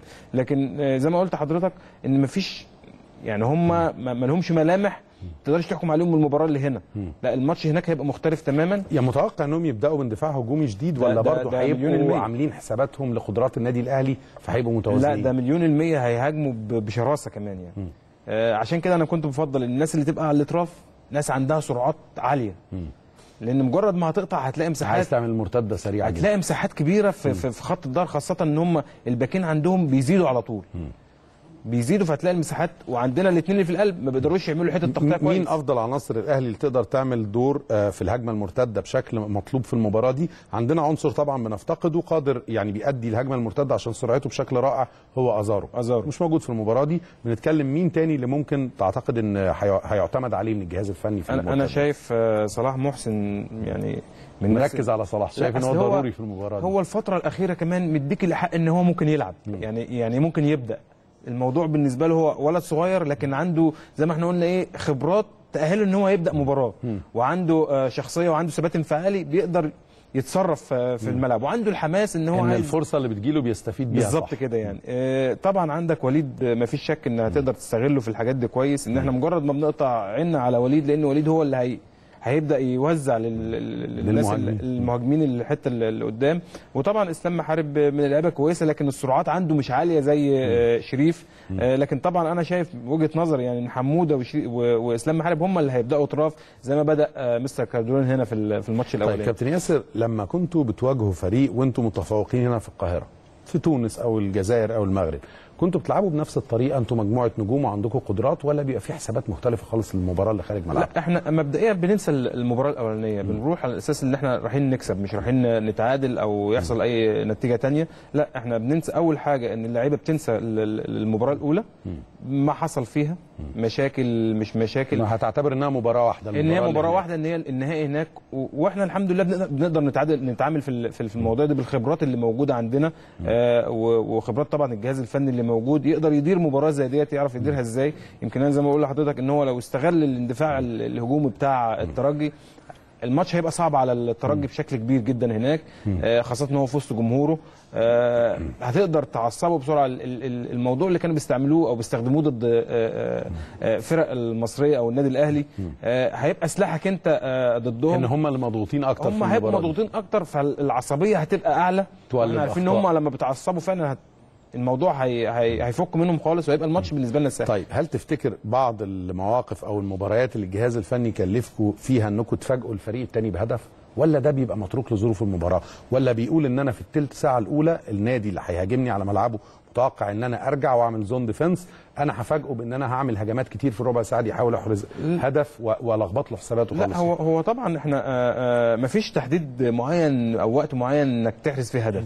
لكن أنت كل اللي بتاخده من المدير الفني إن إحنا نازلين نلعب على المكسب آه لازم يبقى حريص إن أنا ما يجيش فيا جون أهم حاجة. آه، بعد كده أفكر إزاي أجيب جون إزاي ما أخليش الكرة تبقى في رجل ال- الخصم فترات طويلة إزاي دي أضغط اللي في- كل كل النجوم بيتكلموا عنها. آه إزاي أقدر إن اضغط الاستحواذ بيفرق الاستحواذ جداً. بيفرق كتير جدا مع مع الفرقة. آه بس المهم جدا لما لما لما يبقى في استحواذ يبقى في فاعلية على ال- ال- ال- المرمى. يبقى في آه، ترجمة لل- لل- للاستحواذ ده. مش مجرد إن أنا ماسك وما يبقاش عند. منطقة الشناوي. بالظبط. وما ما يبقاش في نص ملعبي. لا يبقى في نص ملعب ال- ال- الفرقة الثانية أو ال- ال- ال- الخصم. آه، أعتقد إن إحنا يعني قادرين إن إحنا نخلي إحنا اللي نسير المباراة في في ال- في النهائي مش مش آه، مش الترجي. لأن زي ما قلنا إن هم هيبقوا مشحونين شحنة زيادة. أنت خسران وبتلعب نهائي وفي ملعبك وسط جمهورك وبرضه عامل حساب إنك بتلاعب فرقة كبيرة. عندها خبرات طبعا فريق عنده خبرات يعني وعنده فرقة كبيرة. وأحسن فرقة في أفريقيا ويعني وبطولات ال- الدنيا كلها عند عند النادي الأهلي. فمش معقول إنك مش هتبقى عامل حسابات لا هتبقى خايف. لكن اندفاعك هيغلطك. بس متوقع كمان حسب كلامك كابتن ياسر حضرتك بتقول إنك متوقع إن الأهلي إن الترجي يبقى حتى حريص يعني يبقى اندفاعه الهجومي حذر شوية لأن هو- عارف النادي الأهلي قدراته عالية ومش هيقدر مفيش- يفتح الملعب مفيش بشكل شك ان كامل. هو لازم يبقى حريص لكن مش هيغامر بدرجة كبيرة قوي قدام الأهلي. ما هو هيغامر ليه؟ هيغامر لأن الحماس زيادة. والشحنات اللي هي شغالة بقالها فترة دي هتخلي اللعيب نازل يعني في مستعجل آه التعادل يعني مستعجل. فدي في دي دي في صالح النادي الأهلي. في دي إن أنت ممكن في اللحظة دي تقدر آه، تخطف آه، الترجي هناك وتصعب الأمور وتنهي المباراة بدري بدري يعني. طيب لو بتقدم نصيحتك للاعبين في منهم أصحاب خبرات وفي منهم للمرة الأولى بيلعبوا نهائي بطولة بحجم دوري الأبطال الأفريقي. إيه حسب ذكرياتك يا كابتن ياسر مفاتيح الفوز في المباريات اللي زي دي؟ إيه الحاجات اللي كنتوا دايما لما بتلتزموا بيها كنجوم في الفريق سواء بتكليف من الجهاز الفني أو باجتهاد منكم كمجموعة لعيبة اصحاب خبرات كانت بت... بتكسبكم مباريات صعبة زي دي؟ يمكن أنا سمعت آه، آه، زميلك آه، بي- بيقول ان ان في أعداد فردية وجماعية و يمكن دي من الحاجات اللي إحنا بنتكلم فيها برضه دي الخبرات. ما أنا حسام عاشور لما يقعد مع هاني ومع سعد ما هو بيقول له آه، عنده آه، حصيلة من آه، المواقف فبيحكي له. بيحكي له على ضوء المباراة اللي جاية. إيه اللي ممكن يحصل؟ إيه اللي هنعمل إيه؟ هنبقى إزاي؟ هنبقى شكلنا عامل إيه؟ آه، أعتقد إن نسيان المباراة الأولى ده أول عامل. تاني حاجة الهدوء داخل الملعب. مش الاسترخاء الهدوء. التفكير دايما في المكسب. حاجة إيجابية دايما إنك بتلعب على المكسب. الرجوله والاجتهاد والتركيز والالتزام بالتكتيك بتاع ال- ال- المدير الفني. دول أهم عوامل تقدر تشتغل بيهم على ال- ال- المباراة النهائية عشان تقدر تعدي المباراة بسهولة. طيب والنصايح اللي ممكن توجهها للاعبين لمواقف مريتوا بيها وتعلمتوا منها إنه حاجات لو حصلت في المباراة دي من لاعبي الأهلي بتبقى النتيجة آه عكس ما نرجو يعني. آه، لو لو لو هو جرك لل- للعصبية أو بدأ ينرفز وده هتحصل.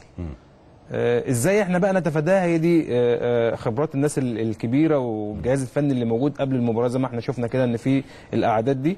اهم حاجة ما تخليش اللعيب اللي قدامك عايز لعيبة الأهلي ما, ما ندخلش في حوارات مع تخشش في حوارات. الحكم ولا مع ولا- لعيبه ولا نقاش. في حوارات جانبية في المباراة يا خالص. أستاذ محمد الموضوع باين يعني. بعد القرارات اللي اتخذت دي الموضوع باين إن في سنة ميلان لل- للترجي من الاتحاد الإفريقي أو مش عايزين يعني برضو يعني نوعا ما محاولة آه، آه بالظبط ترضيته يعني. بشكل. أو آخر يعني. إحنا دي رياضة في الأول والآخر وبعدين دي للتعارف. و- ويحصل بطولات بعد كده بس هي في الأول تعارف. إحنا بنتعارف. لنا أصدقاء في تونس ولنا أصدقاء في الجزائر والمغرب لنا أصدقاء في كل حتة لحد لا. وتاريخ تعامل الناديين مع بعض لاعبين. وجماهير وبعدين ده مش ومسؤولين مش تاريخ نهاية جميل ال- يعني. مش نهاية كره القدم بين تونس ومصر. لا ده ده لسه في أجيال يعني عايز وأجيال الأهلي وأجيال. يبقوا عندهم حذر شديد جدا من ارتكاب أي أخطاء في أي أخطاء. أخطاء بره الكوره يعني بره ال- ال- الأداء ال- الفني الفني. يعني ما تخشش في حوارات آه، شد وجذب ما وكلام. تفقدش أعصابك في أي موقف في بالظبط. ما. تخلوش يشتت تفكيرك جوه الملعب. لا انت خليك مركز في حاجة واحدة. ان إن انت عشان لو وجد بشكل أو آخر أي تحفظ ضدك ما حدش يقدر يستفيد بالظبط كده. ما ما تخليش حكم يستفزك. ما تخليش جمهور يستفزك. ما تخليش لعيب جنبك يستفزك. لا كل الحاجات دي لازم خليك لعيب محترف. بالظبط. 100% يعني في المباراة خليك دي. إيه- اشتغل بالصفارة ال- الحكم. إمتى اقف وامتى امشي كله بالصفارة. آه، اقفل ودانك تركيزك مع ال- المدير الفني والتعليمات اللي بتاخدها من بره التزامك بال- بالتكتيك أو الخطة اللي معمولة ده هيبقى سر النجاح إن شاء الله النادي الأهلي. آه، هل القياس بين الفرق في المغرب العربي أو شمال أفريقيا آه، هم شبه بعض في طريقة الأداء ولا في طابع للفرق التونسية مختلف عن ذكرياتك مع المواجهات مع فرق الجزائر مختلف عن الفرق المغربية؟ لا. ولا في مدرسة مشتركة بينهم في الأداء؟ لا، هو في مدرسة مشتركة لكن يمكن ال- ال- ال- التوانسة أهداهم. آه، لكن الجزائر والمغرب يمكن بيبقى الموضوع أصعب شوية في عصبية أكتر من آه، من من ناحية ال... بعض الآراء كانت بتقول إن أمهر المدارس دي في الكورة اللي بتواجهنا دايما أو بتواجه فرقنا كانت المغرب. المغرب. إن أحرف لعيبة دايما آه، بيواجهوا الأهلي يعني أو حتى. تونس كنا لما بنقابلها على صعيد المنتخب يعني كن قليل لما بنخسر يعني تعادل يا بنكسب. لكن آه، حتى فرق المغربية تلاقي المغرب- ال dribbling وال... والمهارة عند عدد من لاعبيها أعلى. أعلى آه. لكن آه لكن تونس إيه ميزتهم عن عن باقي الفرق اللي بتواجهها؟ لا تونس يمكن هم برضو بي- من النوع اللي هو بيحب يلعب كورة.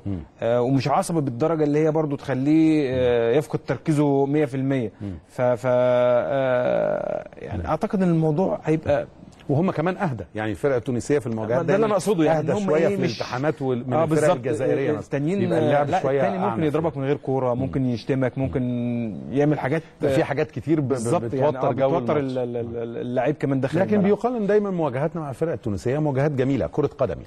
حتى لو فيها ممكن احتكاك أو موقف أو اتنين في ال- الملعب. موضوع الشحن اللي حصل اليومين دول وإحنا يعني للأسف بعض الناس عندنا هي اللي- انساقت وراء يعني, آه، استجابت الموضوع في الأول والآخر مباراة وانهاء أفريقيا زي مئة ألف يعني نهائي قبل متعه. كرة قدم. بالظبط نستمتع إحنا عايزين. نستمتع وهم أكيد عايزين يستمتعوا بجمهورهم. وكل واحد عنده حق مشروع إن هو عايز يكسب. بس بالأسلوب بالأسلوب الصحيح وال- وال- وال- والطبيعي مش مش بحاجة تانية يعني. لكن توقعك إنه في الغالب إنه في تركيز حتى من المسؤولين في الأشقاء في تونس إن الدنيا تخرج بشكل كويس والمباراة تمشي بشكل أكيد، مفيش يليق. بالأهلي وبالترجي كمان وجماهيره وملعبه ما فيش شك أكبر دليل إن إحنا شايفين البعثه الحمد لله كل حاجة آه، آه، تمام متأمنة كويس آه، مرتاحين آه، فندق محترم آه، ملعب كويس بيعملوا ال- التمرين بتاعهم فيه. أكيد الناس دي آه، الموضوع كبير مش موضوع آه، اتنين آه، بيخشوا يتشاتوا مع بعض على التليفون أو على ال- الفيس ده يشتم ده وده يحمس ده ويعمل ده لا الموضوع أكبر من كده ده ده دولتين.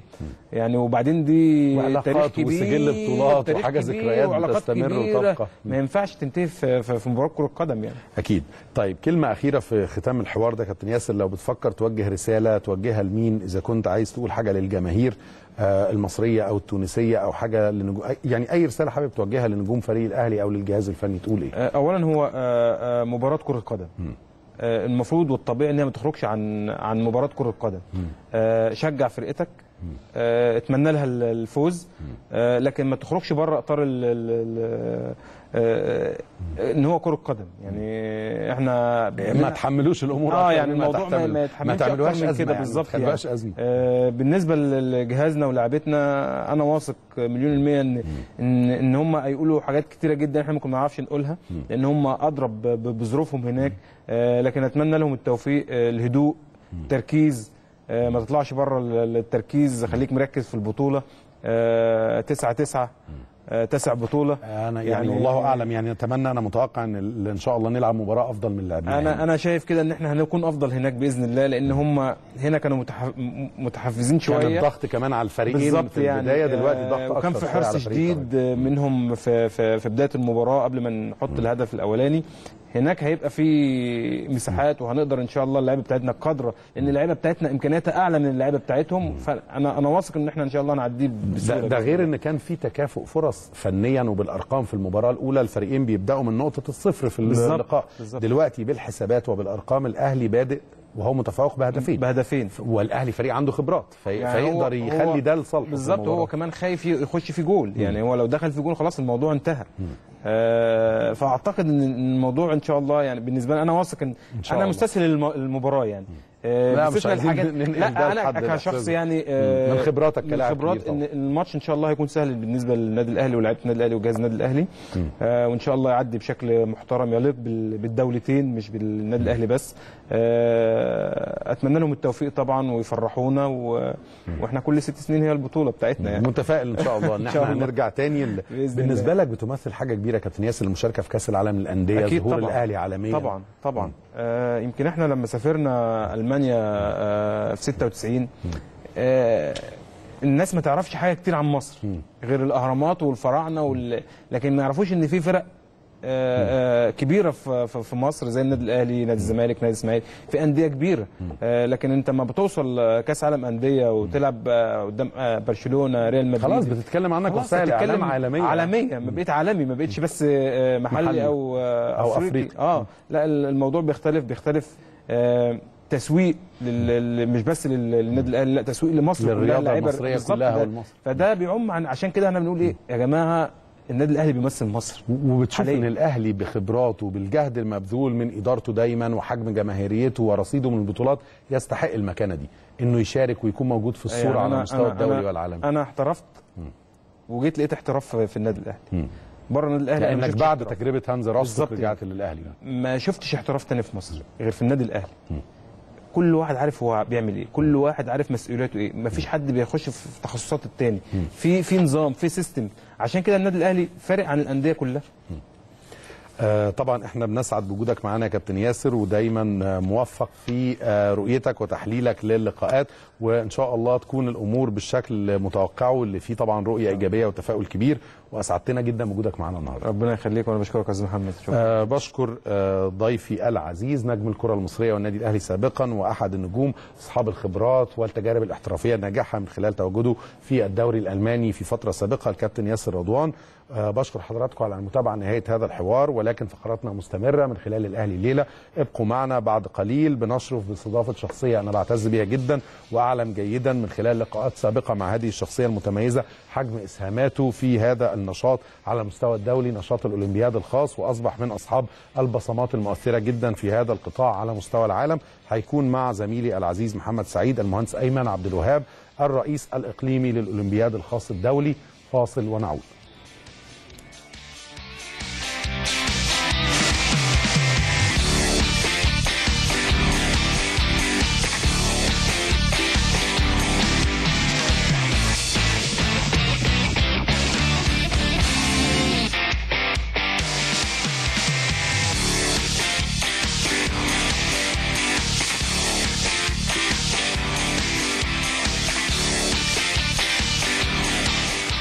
مساء الخير على كل مشاهدي قناة الأهلي في كل مكان والفقرة الحوارية الثانية النهارده من برنامجكم الأهلي الليلة.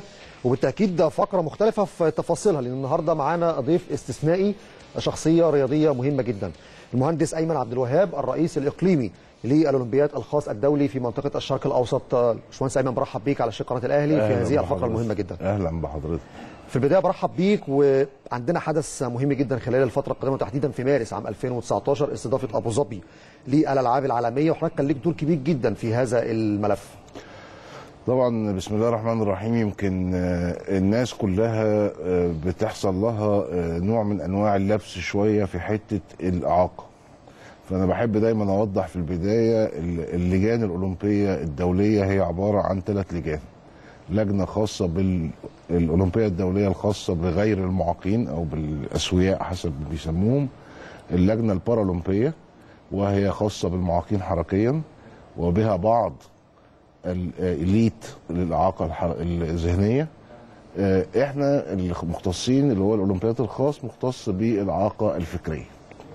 وطبعا إحنا عندنا عارفين كلنا الإعاقة الفكرية دي بتنقسم إلى أنواع منها من هو بطيء التعلم آه، منها من عنده توحد منه آه، برضو ال Down syndrome متلازمه الداون.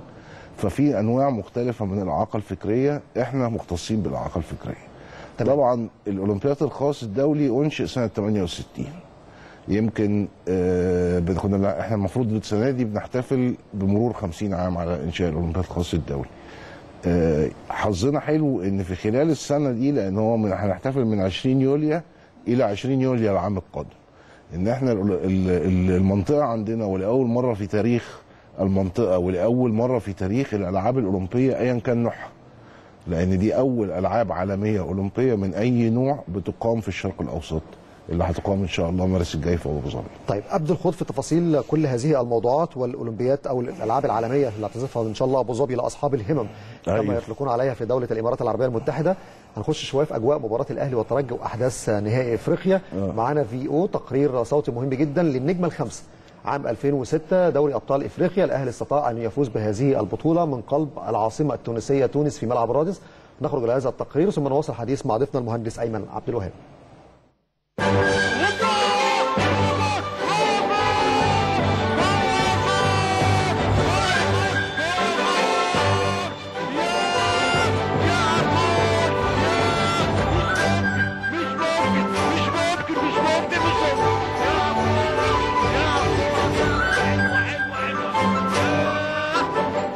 تكن نتائج النادي الأهلي مرضية في أول مشاركته في كأس العالم للأندية عام 2005 لهذا كانت الدوافع كبيرة للفوز بدوري أبطال إفريقيا 2006 للعودة لليابان ورسم صورة جديدة تمحو آثار أول مشاركة.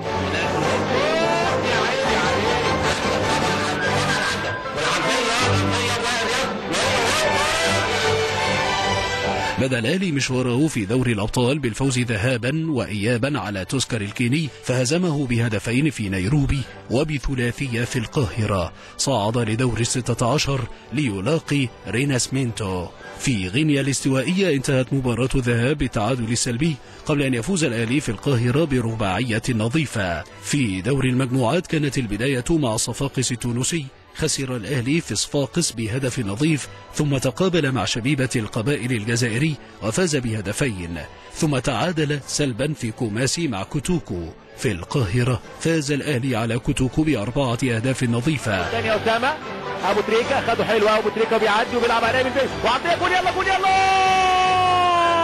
بعدها فاز في القاهرة على صفاقس بهدفين لهدف وحيد. الهدف الأول للأهلي المصري. كوره من محمد بوتريكا بالفعل كان في مثابه ضربة جزاء. قبل أن يتعادل في الجزائر مع شبيبة القبائل بهدفين لكل فريق. ضرب الأهلي في النصف النهائي موعدا مع أسك أبيجان. القاهرة بهدفين للا شيء وخسر في أبيجان بهدف مقابل هدفين وصعد للمباراة النهائية ليقابل صفاقس مرة أخرى. كانت مباراة الذهاب في القاهرة عصيبة. انتهت بالتعادل بهدف لكل فريق. ذهب الأهلي إلى تونس يبغي التعويض فالتعادل السلبي يحسم البطولة لمنافسه.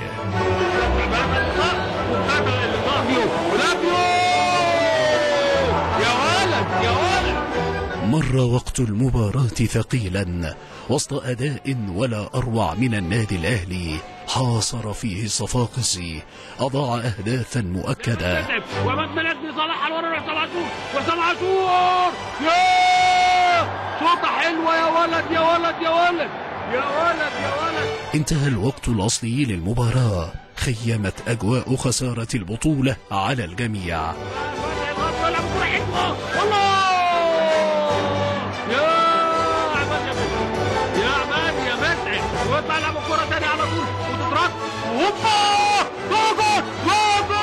لكن الأهلي كعادته لا يعرف المستحيل ليحرز هدفا في الوقت المحتسب بدل من الضائع ليحسم به البطولة ليعود الفريق لليابان وليلعب بطولة تاريخية فاز في نهايتها بالميدالية البورونزية لكأس العالم للأندية ليفوز نجمه محمد أبو تريكة بلقب هداف البطولة. خلال مشوار البطولة فاز الأهلي في ثمان مباريات تعادل في أربع مباريات خسر مباراتين أحرز لاعبوه 24 هدف وسكن الشباك سبعة أهداف. كان محمد أبو تريكة هداف البطولة برصيد ثمانية أهداف يليه عماد متعب بخمسة أهداف. مش ممكن مش ممكن مش ممكن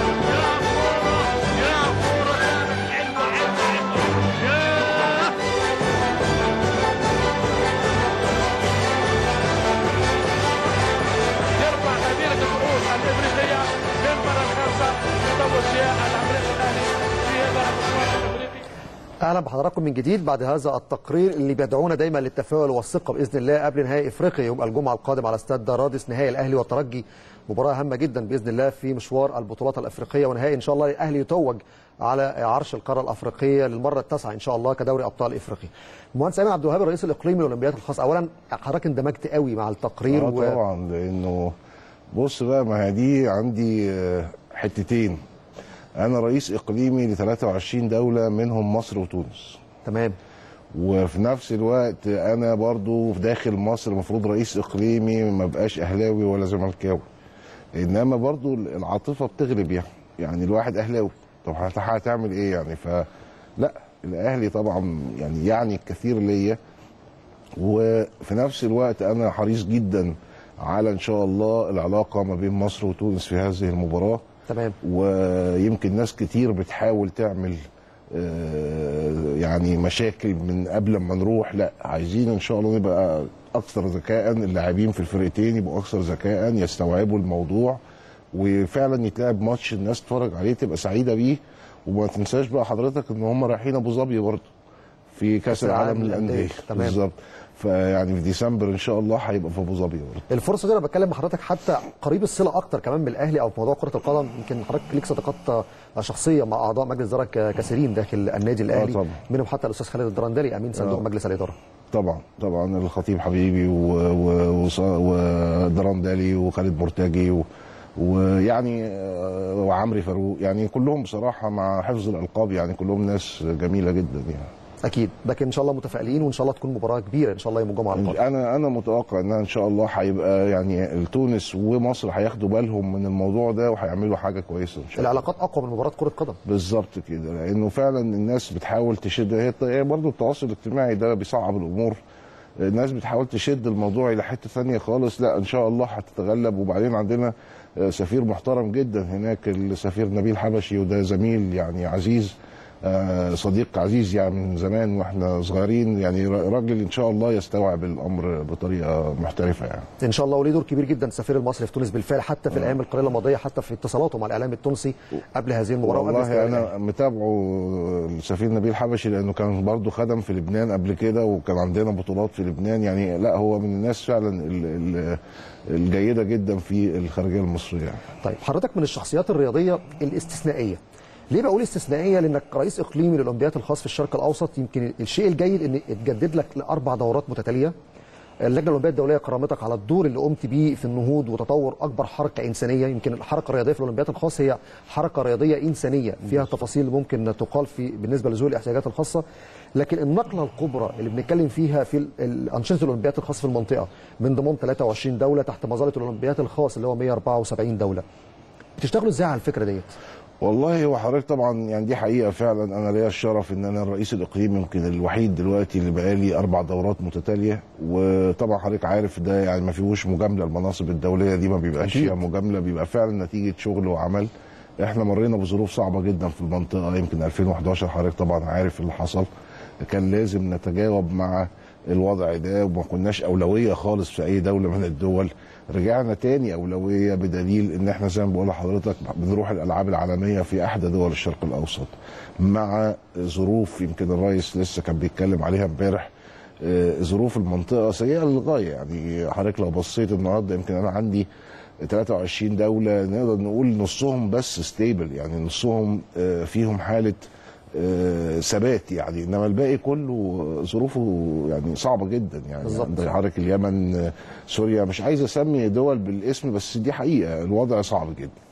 فطبعا الأولمبياد الخاص لما بدأنا سنة 2001 وده كان أول آه، بدايتي بهذا النشاط في على مستوى الدولي آه، كنا عندنا 20000 لاعب ولاعيبة مسجلين من يمكن 12 13 دولة.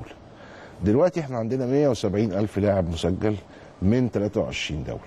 يمكن برضو حاجة مهمة جدا إن البرنامج المصري كان قائد في هذا المجال من أول يوم وبدليل على ذلك إن لما ابتدينا المنطقة كانوا 15 ألف من 20 ألف من مصر. النهاردة بس 25 30 ألف من ال 170 من مصر. فده يدل برضو إن الناس خدت التجربة المصرية وقررتها في بعض هذه الدول وبالتالي زاد عدد اللاعبين فيها. مش هنقدر نقول إن إحنا نجحنا يعني خلاص وصلنا اللي إحنا عايزينه لأ الطريق لسه طويل جدا لأن بنتكلم على 3% يمكن حتى الرئيس قالها في المؤتمر الشهر اللي فات كان مؤتمر التعليم وكانوا عاملينه للإعاقة.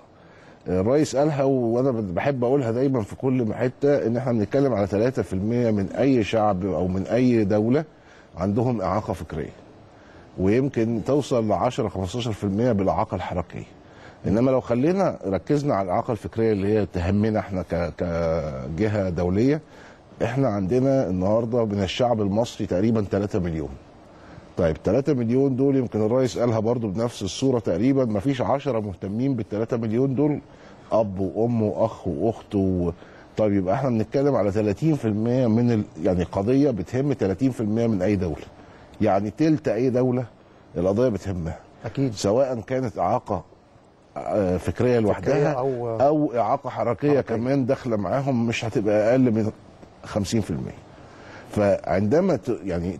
يعني نقول والله إحنا بنتجه إلى addressing أو بمعنى أصح بنقول إن إحنا بنوجه الرسالة للناس بخصوص هذا الموضوع هو يستحق مش عشان وبعدين ال sponsors النهارده الرعاة ابتدوا يفهموا القصة إنك أنت النهارده آه ما هو معاق فكريا. ماشي أنا معاك. ما هواش مؤثر قوي في عملية البيع والشراء لأنه مش هو اللي بيشتري ومش هو اللي بيبيع. لأن ال sponsor بيبص لها من ناحية تجارية. بيبص لها من ناحية عدد الناس اللي حوالين الولد ده. بالظبط. فهو بيعتبرها برضو تسويق له. فأنت بتتكلم على أنا بقول at least يعني تلت أي دولة مهتمة بهذه القضية. طب هل النهارده عندنا تلت أي دولة بتشجع لعبة معينة؟ بتشجع رياضة معينة؟ بتشجع نادي معين؟ صعب صعب إن تلت دولة يكون بيشجع رياضة معينة. كلهم بيحبوا كرة القدم. لا. هتلاقي مثلا شوية بيحبوا كرة القدم شوية بيحبوا كرة اليد. فإنما دي بالذات بقى هذا الموضوع بالذات كل الناس متفق عليه. محدش يعني بيقول والله مفيش اختلاف. أنا بالظبط أنا مش هحب دول أو مش مؤثرين معايا. لا. أي حد فينا بيسمع القصة أو بيعرفها بيتأثر بيها. بيتأثر. بيندمج معاها. بالظبط. فإحنا النهارده برضو عشان خاطر في أولياء أمور كتير بتتخيل إن إحنا عايزين الميدالية أو بنجري ورا الميدالية أو الميدالية هم بيجيبوا ميداليات. يعني أنا مش عايز أقول أحسن من أي حد تاني. مش يعني أحسن من الاسواق أحسن ده- ده من حقيقي، ده واقع بيحصل لأن هم. بيبقى عندهم نوع من أنواع ال تحدي. ال الإصرار كمان داخلهم وبعدين ما بيضيعوش وقت في حاجة خالص. هو ما عندوش غير التدريب بتاعه والماتش بتاعه. فما عندوش أي اهتمام آخر يعني. فبيحققوا ميداليات ولكن مش هي الأساس. أنا بقول الميدالية هي وسيلة لدمج الأولاد والبنات من هذه الفئة في المجتمع.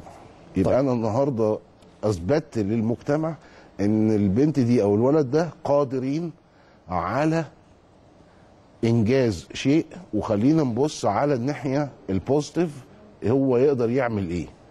مش نقول والله هو معاق فما بيقدرش يعمل كذا. لا إحنا عايزين نشوف الجزء اللي يقدر يعمله. فبنقدر نثبت الحتة دي. طيب حركة الأولمبياد الخاص نشاه هذه الحركة بدأت من إمتى واشتغلوا عليها إزاي؟ هي ابتدت بفكرة بسيطة جدا. أخت جون كينيدي عندهم أخت معاقة فكريا. فابتدت النهارده منعزلة عن بقية الإخوات. وطبعا أنت عارف عيلة كينيدي دي كانت عيلة غنية جدا. وجون كينيدي ده أبوه الأب جوزيف كينيدي كان غني جدا من أغنياء أمريكا وهو كان رئيس الجمهورية. مظبوط. هي كانت النهارده شوف على مستوى إيه؟ مستوى الأمريكان ومستوى عائلة رئيس الجمهورية. ومستبعدة البنت وملهاش وضع خالص في الأسرة. والا إلى ان اكتشفت أختها اللي هي اسمها يونيس ابتدت تلعبهم رياضة لأن حست إن هم عندهم طاقة وهي فعلا حاجة logic هم النهارده يعني إحنا بنقول إيه؟ في فرق بين الاعاقه الفكرية وفي فرق بين إن أنا أكون محتاج إن أنا أروح مستشفى آه، آه، العباسية مثلا. في فرق في كبير اختلاف في المعنى كمان وفي تفصيل. بالظبط. يعني النهارده أنا هل أنا يعني خارج نطاق العقل تماما فأنا مجنون ولا أنا عندي إعاقة فكرية فقط؟ لا أنا عندي إعاقة فكرية فقط. مانيش مجنون لأن لو مجنون هروح أقعد في مستشفى دي قصة تانية. إنما أنا بتكلم عندي إعاقة فكرية فقط. طيب أنا لو أنا عندي إعاقة فكرية فقط يبقى أنا معنى كده إن أنا ما بستخدمش المخ أو التفكير كما يجب أو كما أي إنسان آخر طبيعي بيعمله. مظبوط. فبالتالي عندي دائما طاقة مخزنة في الجسم ما بتخرجش غير لما أبتدي أتحرك. لأن ما, بفك... ما بستخدمهاش التفكير. إحنا كلنا بنقعد لغاية الساعة 2 الظهر ون... ونبتدي نجوع الساعة 2 الظهر ونقول عايزين نتغدى و... وإحنا قاعدين على الكرسي ما وإحنا قاعدين على. الكرسي متطلبات الحياة بقى بتبدأ. بالظبط بنقعد نفكر. هو ما بيفكرش بنفس الكمية اللي المفروض يفكر بيها وبالتالي بتحصل إيه؟ بيحصل إن هو عنده طاقة زيادة مش عارف يستخدمها صح. أنت وجهتها له صح الست دي وجهتها له صح وفضلت 20 سنة تشتغل على اعتراف اللجنة الأولمبية الدولية. متى بقى تم اعتراف اللجنة الأولمبية؟ 1988 1988 آه، تم توقيع بن شرايفر اللي هو رئيس الأولمبياد الخاص وسمرانش في ذلك الوقت كان رئيس اللجنة الاولمبيه الدولية. بس خدت وقت على ما تم الاعتراف بيها؟ 20 سنة. 20 سنة. 20 سنة بتحاول الست النهارده تقنع الناس إن المعاقين فكريا دول من حقهم يكون لهم لجنة أولمبية ومن حقهم يكون لهم ألعاب أولمبية زي بقية الناس. إنما نجحت. بدليل حضرتك يوم ما هي ابتدت يعني أنا دايما بقول التعليق ده دولة ونص مشاركة في شيكاغو سنة 68 في أول ألعاب عالمية. دولة ونص. بس. اللي هم مين؟ أم آه آه كندا و26 ولاية فقط من أمريكا. في نص البلد. نص الولايات البلد. نص الولايات. خلاص إحنا رايحين إن شاء الله أبو ظبي. 195 دولة هتشارك لأن أبو ظبي كمان عاملين مفاجأة إن هم مستضيفين حوالي يمكن 22 دولة زيادة عن اللي إحنا دايما بنعمل بن- بيشاركوا لأول مرة. فال 174 دولة اللي هم دايما يكونوا مشاركين هيبقوا 195 في في أبو ظبي. في اهتمام في أبو ظبي تحديدا في الملف ده؟ آه من واحد ونص دولة إلى 195 دولة هيشاركوا. من حوالي يمكن ثلاث رياضات بتقام كانت في أول ألعاب عالمية النهاردة عندنا 24 رياضة صيفية. بقى عندنا ألعاب ع- عالمية صيفية وألعاب عالمية شتوية. يعني إحنا 2017 كنا في النمسا 2019 أبو ظبي ألعاب صيفية. فيعني الموضوع كبر جدا. إحنا بقى عن كمان إحنا كمان كإقليم يمكن من الأقاليم المميزة في هذا المجال. والله مش عشان أنا رئيسه يعني ولا حاجة إنما دي حقيقة. إحنا عملنا آخر ألعاب إقليمية التاسعة في 2018 من ساعة ما ابتدينا الشغل بتاعنا. فمعنى ذلك برضو إن إحنا كألعاب إقليمية بنعملها بصفة دورية. وليكوا نشاط آه مستمر. وحضرتك 2014 عشان تبقى عارف كانت أول حدث رياضي يعني بعد ست أشهر من توليه رئاسة الجمهورية الرئيس السيسي كان أول حدث رياضي يحضره. كان افتتاح الألعاب الإقليمية في مصر. آه مظبوط. فبالظبط كده. فدي النهارده برضو رسالة إن إحنا. يعني كل قيادات المنطقة مجمعة على هذا النشاط. محدش بيقول والله أصل ده النشاط ده كان بتاع فلان أو النشاط ده كان مهتم بيه فلان فأنا مش ههتم بيه لأ. الفكرة موجودة. بالظبط كده. كله مؤمن بالقضية وكله بيدي لها وقته وكله بيدي لها اهتمام ويمكن زي ما بقول لك بقت الناس مذهولة. يقول لك الرئيس هيجي يحضر فعلا 2000 آه هيجي يحضر. في أبو ظبي الشيخ محمد بن زايد. آه يعني ابتدينا ال- ال- الم- المنطقة تتغير فعلا في ال 18 سنة وأنا بقول يعني أكبر إنجاز إن إحنا وصلنا بكل هذا النشاط إلى 2019 المسمى حضرتك بتكلم فيه أصحاب الهمم بما إنك ذكرت الشيخ محمد آه. بن زايد في الإمارات العربية آه. المتحدة وإطلاق أصحاب الهمم عليهم هناك أيوة. المعنى ليه تفسير كبير جدا هي بقى بالظبط مسمينها. people of determination هي طبعا الأولمبياد الخاص زي ما بقول إيه أو ال ال ال حتى يمكن لو رحنا للأمم المتحدة. الأمم المتحدة اتفقت على اتفاقية دولية بتسمي المعاق معاق أو بتسمي الإعاقة إعاقة. ليه؟ عشان نوضح وما يحصلش لبس ما يكتبش ذوي الاحتياجات الخاصة و... لأن بيقول لك إحنا النهارده لو ذوي احتياجات خاصة إحنا كلنا ذوي احتياجات خاصة. صح؟ يعني كل واحد فينا عنده مشكلة. يعني أنا وزني الزايد سنه ده ذوي احتياجات خاصة؟ صح؟ يديك الصحة. لا أنا بقول لك حقيقة يعني فذوي احتياجات خاصة دي مش مش كلير مش واضحة. مش واضحة. فبيقولوا الإعاقة. إنما طبعا في مبادرات زي اللي عملوها في الإمارات حتة إن أنا أسميهم أصحاب الهمم. إيه المانع؟ يعني داخل الدولة بسميهم أصحاب الهمم الهمم. ولما بخرج خارج الدولة في مراسلات دولية بقولوا المعاقين. طبقا للاتفاقيه الدولية يعني. إنما طبعا اسم جميل وعمل طفرة في الإمارات كبيرة جدا. وبيدي ناحية نفسية كمان.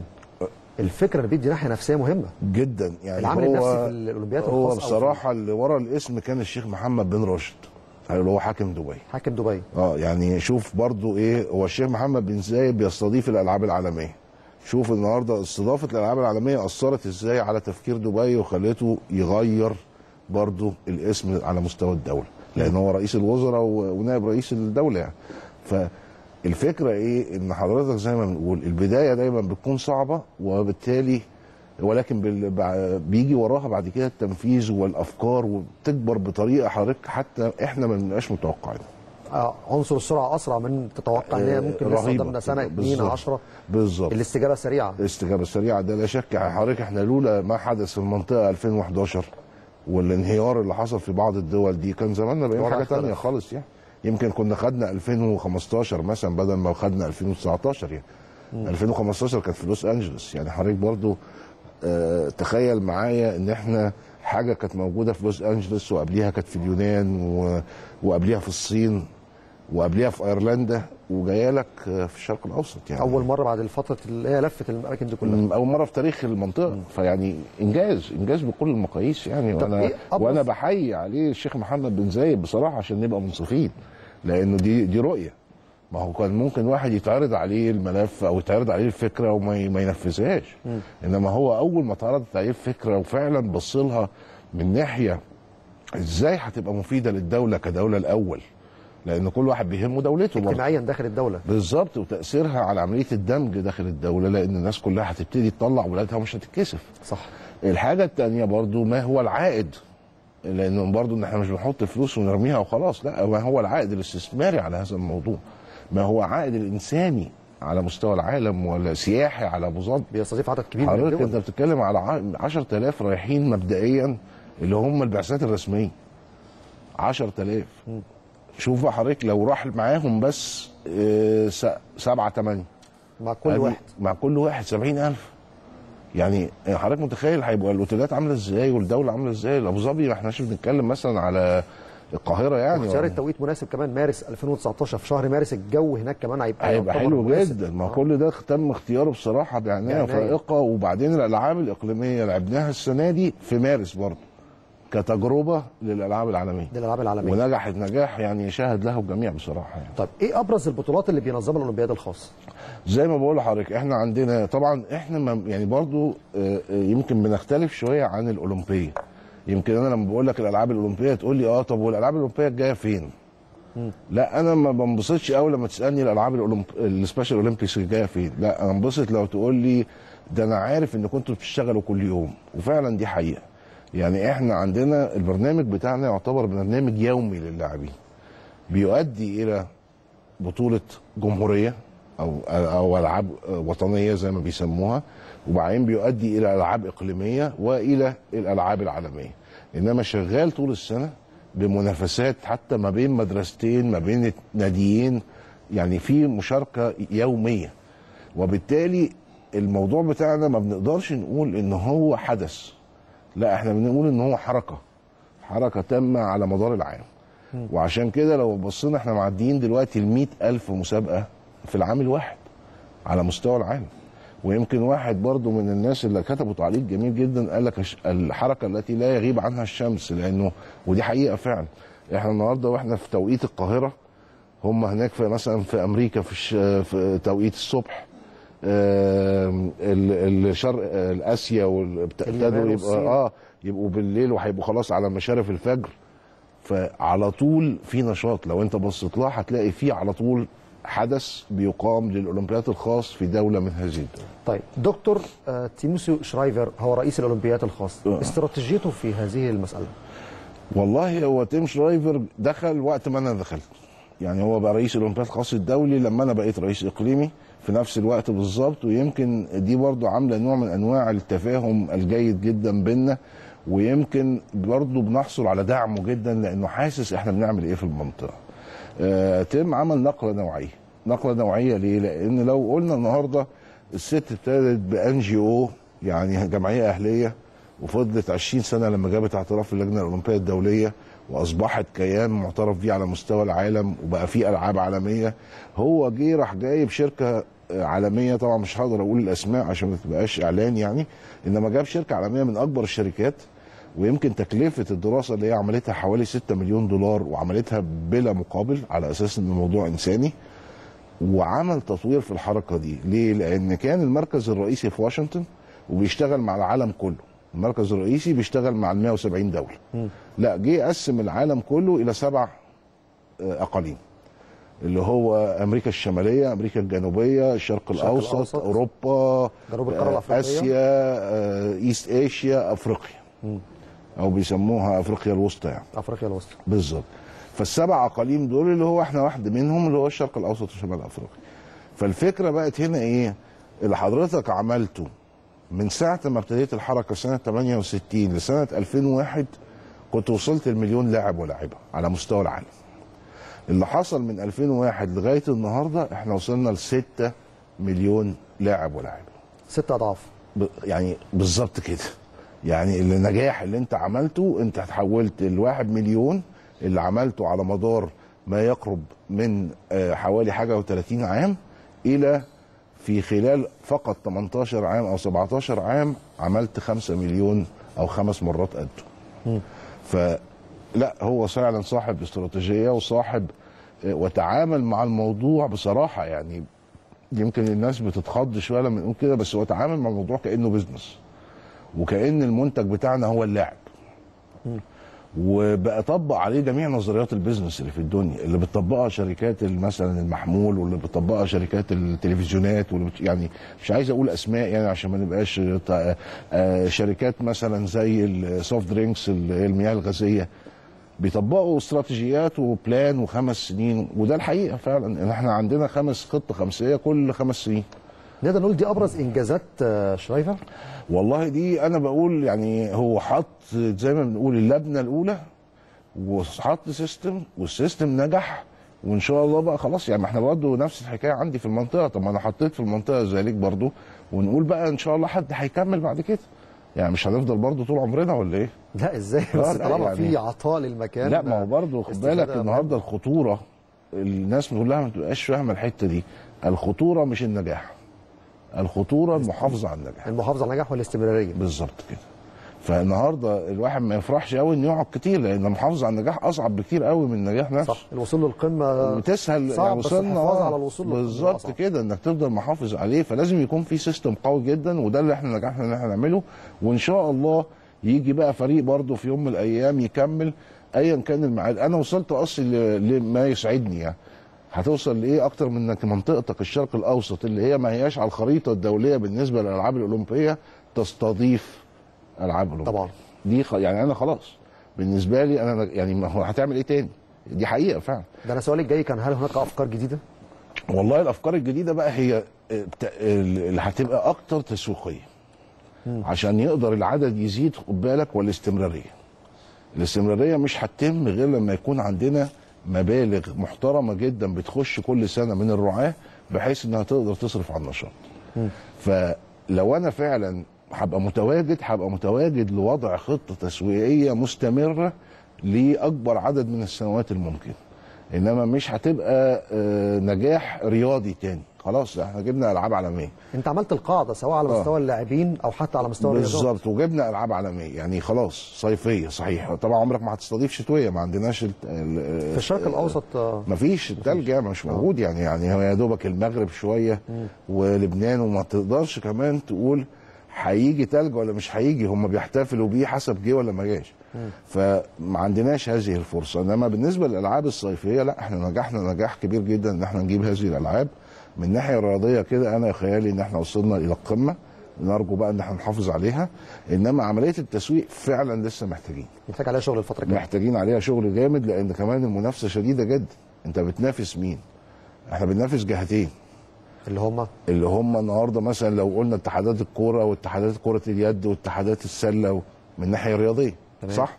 وبننافس من الناحيه بقى الإنسانية. دي منافسة صعبة قوي آه الكانسر والكبد الوبائي و... الأمراض آه. طب ما أنت النهارده ما هو دول تحدي بالن- تحدي صعب قوي آه فإحنا يعني إحنا لا محصلين كده ولا إحنا محصلين كده. فلازم النهارده نحط استراتيجية تمشي مع نصها هنا ونصها هنا عشان نعرف نخش مع الناس دي. كان عنكم بصراحة. آه لأنها مش أولوية. يعني في ناس كتير هتقول لك والله طب الكانسر أو السرطان أهم لأنه علاج ومحتاج. لا أنا النهارده كمان بغير حياة بني آدم وبخليه إنسان منتج وبيختلف في أسرة. بدل ما كانت الأسرة بتبقى تعاني من وجود هذا الشخص لا بقت سعيدة بوجود هذا الشخص. بتخلق عنده كمان دافع الحياة. بالظبط كده. فيعني إحنا بنغير أنا دايما بقول we are changing the world يعني إحنا بنغير العالم فعلا. بنغير الش- الشخص نفسه بغير اللي حواليه بغير ال policies السياسات الدول بنغير كل الكلام ده عشان تقدر تخلي هذا ال- الشخص بقى العقلية نفسها. آه، مخت... يعني في دمج في المجتمع. طيب إيه الرياضات الرسمية اللي عليها في الألعاب العالمية سواء الصيفية أو الشتوية؟ طبعا إحنا عندنا حوالي يمكن 24 رياضة صيفية و11 رياضة آه، شتوية. ليه في تفاوت بين الصيفي أو الشتوي لأنه الشتوي محدود نتيجة إن كله على التلج. يعني دي زي الألعاب حتى الأولمبية. يعني أنت حضرتك نفس دايما مساحه الألعاب آه هنا. الألعاب الأولمبية حتى لو مش صيفية والشتويه بتلاقي تقريبا بيبقوا الشتوية تقريبا نص العدد بتاع الصيفية. لأنه الرياضات محدودة. كلها تزحلق على الجليد. إنما إحنا عندنا مثلا الهوكي الأرضي في الصالات المغطاة. ده برضو بيسهل الأمور شوية إن إحنا نقدر نشارك فيه لأن الولاد برضو مش مش واخدين على التلج. ولكن عملنا إحنا برضو قصة جميلة جدا لما ابتدينا نشارك إزاي في الألعاب ال- الشتوية. آه، طبعا يمكن آه، أنا مهندس بال- بال- بالتعليم يعني فضربت في دماغنا قلنا الله طب ما الولاد دول لو جريوا على الرمل والرمل احتكاكه أكبر. 100% لما يجوا يرجعوا يجروا على التلج هيبقى أسهل. أسهل. وفعلا ده اللي حصل. دربنا أربع دول بس وابتدينا بيهم في 2001 في ألاسكا. فأنت متخيل مصر والكويت ولبنان والأردن في ألاسكا؟ طبيعة جغرافية مختلفة حاجة. مذهلة. والعيال آه، نفسهم ال- ال- اللاعبين نفسهم إن هم يسافروا يعملوا هذا الكلام. المفاجأة إن هم شاركوا وخدوا الميداليات الذهب لأنه كانوا متمرنين على الرمل. فابتدينا نعمم القصة لغاية آخر ألعاب آه، عالمية شارك 17 دولة في النمسا من ال 23 فشوف 17 دولة من دول الحارة جدا بتشارك في ألعاب شتويه فإحنا ما بنسكتش يعني بنحاول بقدر الإمكان بس طبعا صعب إنك تستضيف ألعاب شتوية. طيب أجندة الأولمبياد الخاصة خلال الفترة القادمة ممكن تشهد رياضات جديدة؟ آه، إحنا في ال 24 عشان نكون أمنا مع بعض عندنا حوالي 16 منهم فاعلين للمنطقة. بمعنى؟ يعني اللي لهم فيهم مسابقات وفيهم ألعاب إقليمية وفيهم إنما بقية الثمانيه اللي هم الآخرين أو لسه- لسه لا دول على مستوى العالم آه بس مش على مستوى المنطقة. مش على المستوى الاقليمي بالظبط كده. فحتى هتلاقينا إحنا مش مشاركين في الثمانيه اللي هم يعني تلاقي الدول مثلا مشاركة في 16 مشاركة في 17 ما تقدرش تشارك في ال 24 تمام آه يعني المنطقة اللي موجودة في الإقليم الشرق الأوسط بتشارك في الاولمبياد العالمية بس في 16 لعبة حسب في اللي بيتم 16 تنفيذه رياضه بالظبط. كده بالظبط. بالظبط فإحنا بقى دورنا الفترة الجاية إن إحنا نزود ال 16 دول نخليهم 24 وده طبعا بيحتاج مجهود غير عادي ليه؟ لأن أول واحد بتبتدي بيه المدرب المدرب مش معنى المدرب حاصل على التربية الرياضية يعني معناها إنه جاهز إنه يدرب لا المدرب لازم يكون مؤهل إزاي يتعامل مع الولاد مش اي حد يعرف يتعامل معاهم. يعني ممكن يبقى دارس تربية رياضية وعلى أعلى مستوى وكل حاجة وعامل دراسات النفسي- التعامل بالظبط. فتصور حضرتك الدكتور بتاعه لازم تؤهله لأن الولد بيخاف وبيطلع يجري منه. يعني في تصرفات بتاعة الأطفال. صح. فكل الكلام ده لازم يدرس الأسرة لما بيروح البيت النهارده أنا ممكن أحط له سيستم غذائي وبت... ويروح البيت يعملوا حاجة له خالص. أكل تاني يبوظ الدنيا. يعني فكله لازم يتجهز الأسرة تتجهز المدرب ما يتجهز بتسيبوش الهفوة. حاجة يعني بصراحة آه دي حقيقة. حاجة صعبة جدا يعني. وطبعا آه، أقل واحد أهمية عشان برضه نتكلم بأمانة هو الرئيس الإقليمي اللي قاعد قدامك ده. لأنه الأهمية بتبدأ من المدرب مدرب تطلع لرئيس المنطقة. بس الفكرة حضرتك حضرتك استراتيجية في قاعدة موجودة. بس بالظبط بس هو أهم واحد المدرب. ده راجل مع الأولاد كل يوم. هو اللي فعلا بيقوم بالدور. وبعدين بتطلع بعد كده رئيس منطقة وبعدين تطلع لمدير وطني وبعدين تطلع رئيس برنامج وبعدين مدير آه، رئيس إقليمي أو مدير إقليمي الأول للرياضة من الرياضات وبعدين رئيس إقليمي. تمام. يعني عبال ما توصل لي هتكون نسيت يعني. لا لا خالص. بس حضرتك بس أنا عايز أنوه وأنت حضرتك معايا ده دلوقتي توقيت أو خروج لاعبي النادي الأهلي من الملعب الفرعي في تونس بعد انتهاء أول مران للنادي الأهلي هناك في تونس استعدادا لمباراة العودة أمام الترجي التونسي في إياب الدور النهائي إن شاء الله يوم الجمعة القادم. قدامنا في الصورة باتريس كارتيرون والجهاز المعاون واللاعبين بعد انتهاء أول تدريب رسمي لفريق النادي الأهلي. شايفين كمان قدام الحافلة الخاصة والباص الخاص بفريق النادي الأهلي الشرطة التونسية والقيادات الأمنية. بالتأكيد تأمين كامل لبعثة النادي الأهلي في تونس في تنسيق كبير جدا بين الدولتين وعلى المستوى الرياضي كمان لخروج هذه المباراة بشكل مشرف لأنه في النهاية عرس عربي كبير جدا للقارة الأفريقية. مباراة بين الكبيرين الأهلي والترجي التونسي نتمنى يا رب كمان يكون الجهاز الفني استفاد النهارده بأول تدريب ليه. والجهاز الفني تعامل على إنه كمان يسافر تونس قبل المباراة بأربعة أيام عشان يحضر بشكل جيد واللعيبة تدخل في الأجواء بشكل ممتاز قبل هذه المباراة الهامة جدا. طبيعي بعد انتهاء التدريب الأول الفريق خلاص أهو في هذه اللحظات عائد إلى مقر الإقامة. بيستعد إن شاء الله إن احتمال يكون في استشفاء داخل فندق الإقامة تناول وجبة العشاء. آه، البروجرام بقى الخاص والبرنامج الخاص بالفريق هيتم تحضيره بعد هذا التدريب من قبل الجهاز الفني مع الجهاز الجهاز الإداري عشان يحضروا الأيام القادمة مواعيد الفطار والغداء والعشاء ومواعيد التدريبات والأماكن اللي هيبقى يتدرب فيها الفريق. وكمان جزئية مهمة المحاضرات الرئيسية والمحاضرات النظرية اللي هيعقدها الجهاز الفني مع اللاعبين ويمكن غالبا هتبدأ من بكرة إن شاء الله من يوم الأربعاء ثم تستمر الخميس والجمعة إن شاء الله ميعاد المباراة. نتمنى التوفيق يا رب لفريق النادي الأهلي والجهاز الفني يوصل للشكل والطريقة اللي يقدر يؤدي بيها هذه المباراة وإن شاء الله إن الأهلي إن شاء الله قادر على العودة من تونس بانتصار ويفرح كل جماهيره مش في مصر بس لا في مصر وفي الوطن العربي وفي القارة الأفريقية. باشمهندس ايمن عبد الوهاب يعني رئيس الإقليم إحنا بنتكلم يعني قدر الإمكان في الموضوع الخاص بحضرتك لكن في نفس الوقت برضه بنلقي دول إن إحنا على مدار. اليوم ال- وبعدين الكورة برضو هي المهمه يعني يعني هنقول إيه لازم الكورة تبقى واخدة الوضع بتاعها. تتوقع إيه للمباراة؟ والله كنتيجة يعني؟ آه، كشكل المباراة ك لا كشكل فني. المباراة أنا مش يعني مش مطمن قوي أتمنى بس إن إحنا زي ما بقول لك كده الناس تاخد بالها لأن مش مطمن قوي إن يبقى في حساسية شوية. فأتمنى إن دي ما تكونش موجودة. لو دي ما كانتش موجودة أنا إن شاء الله خيالي- مش موجودة بإذن الله. آه أنا خيالي إن هيحصل تعادل. بس تعادل بقى كام كام مش وبتاع. مهم كام كام؟ تعادل ده ما أنا بقول لك يعني أنا. عندي إحساس لأن فعلا الفرقتين آه. كويسين. يعني الفرقتين أكبر. فريقين في القارة الأفريقية. بالظبط. لا وحالتهم كويسة. يعني ويوم ما اتفرجنا عليهم الاثنين قفلوا على بعض لدرجة إن إحنا ما استمتعناش بالماتش على فكرة. آه. يعني هم كانوا قافلين على بعض جامد جدا. يعني حضرتك بص للثلاث اجوان من الأربعة penalties ضربات جزاء. حتى حتى الجون التونسي. يعني فأنت حضرتك يبقى النهارده معناها إن الماتش مقفول جدا. فأت... يعني لا فرقتين جامدين. إن شاء الله خير بإذن الله. أنا. متفائل على المستوى الشخصي متفائل خير. أنا إن شاء الله يعني لازم نتفائل دايما يعني. إن شاء الله. تفاءلوا بالخير تجدوه آه وأنا شفت الكابتن الخطيب بتهيألي موجود هناك آه ولا- رئيس البعثة آه، كابتن آه. محمود الخطيب متواجد كرئيس متواجد للبعثه و... من بدري يعني مش بالفعل مش وباقي أعضاء مجلس يعني. الإدارة المعالي آه. الوزير العمري فاروق متواجد آه. الأستاذ خالد درندلي الأستاذ خالد درندلي دكتور سراج.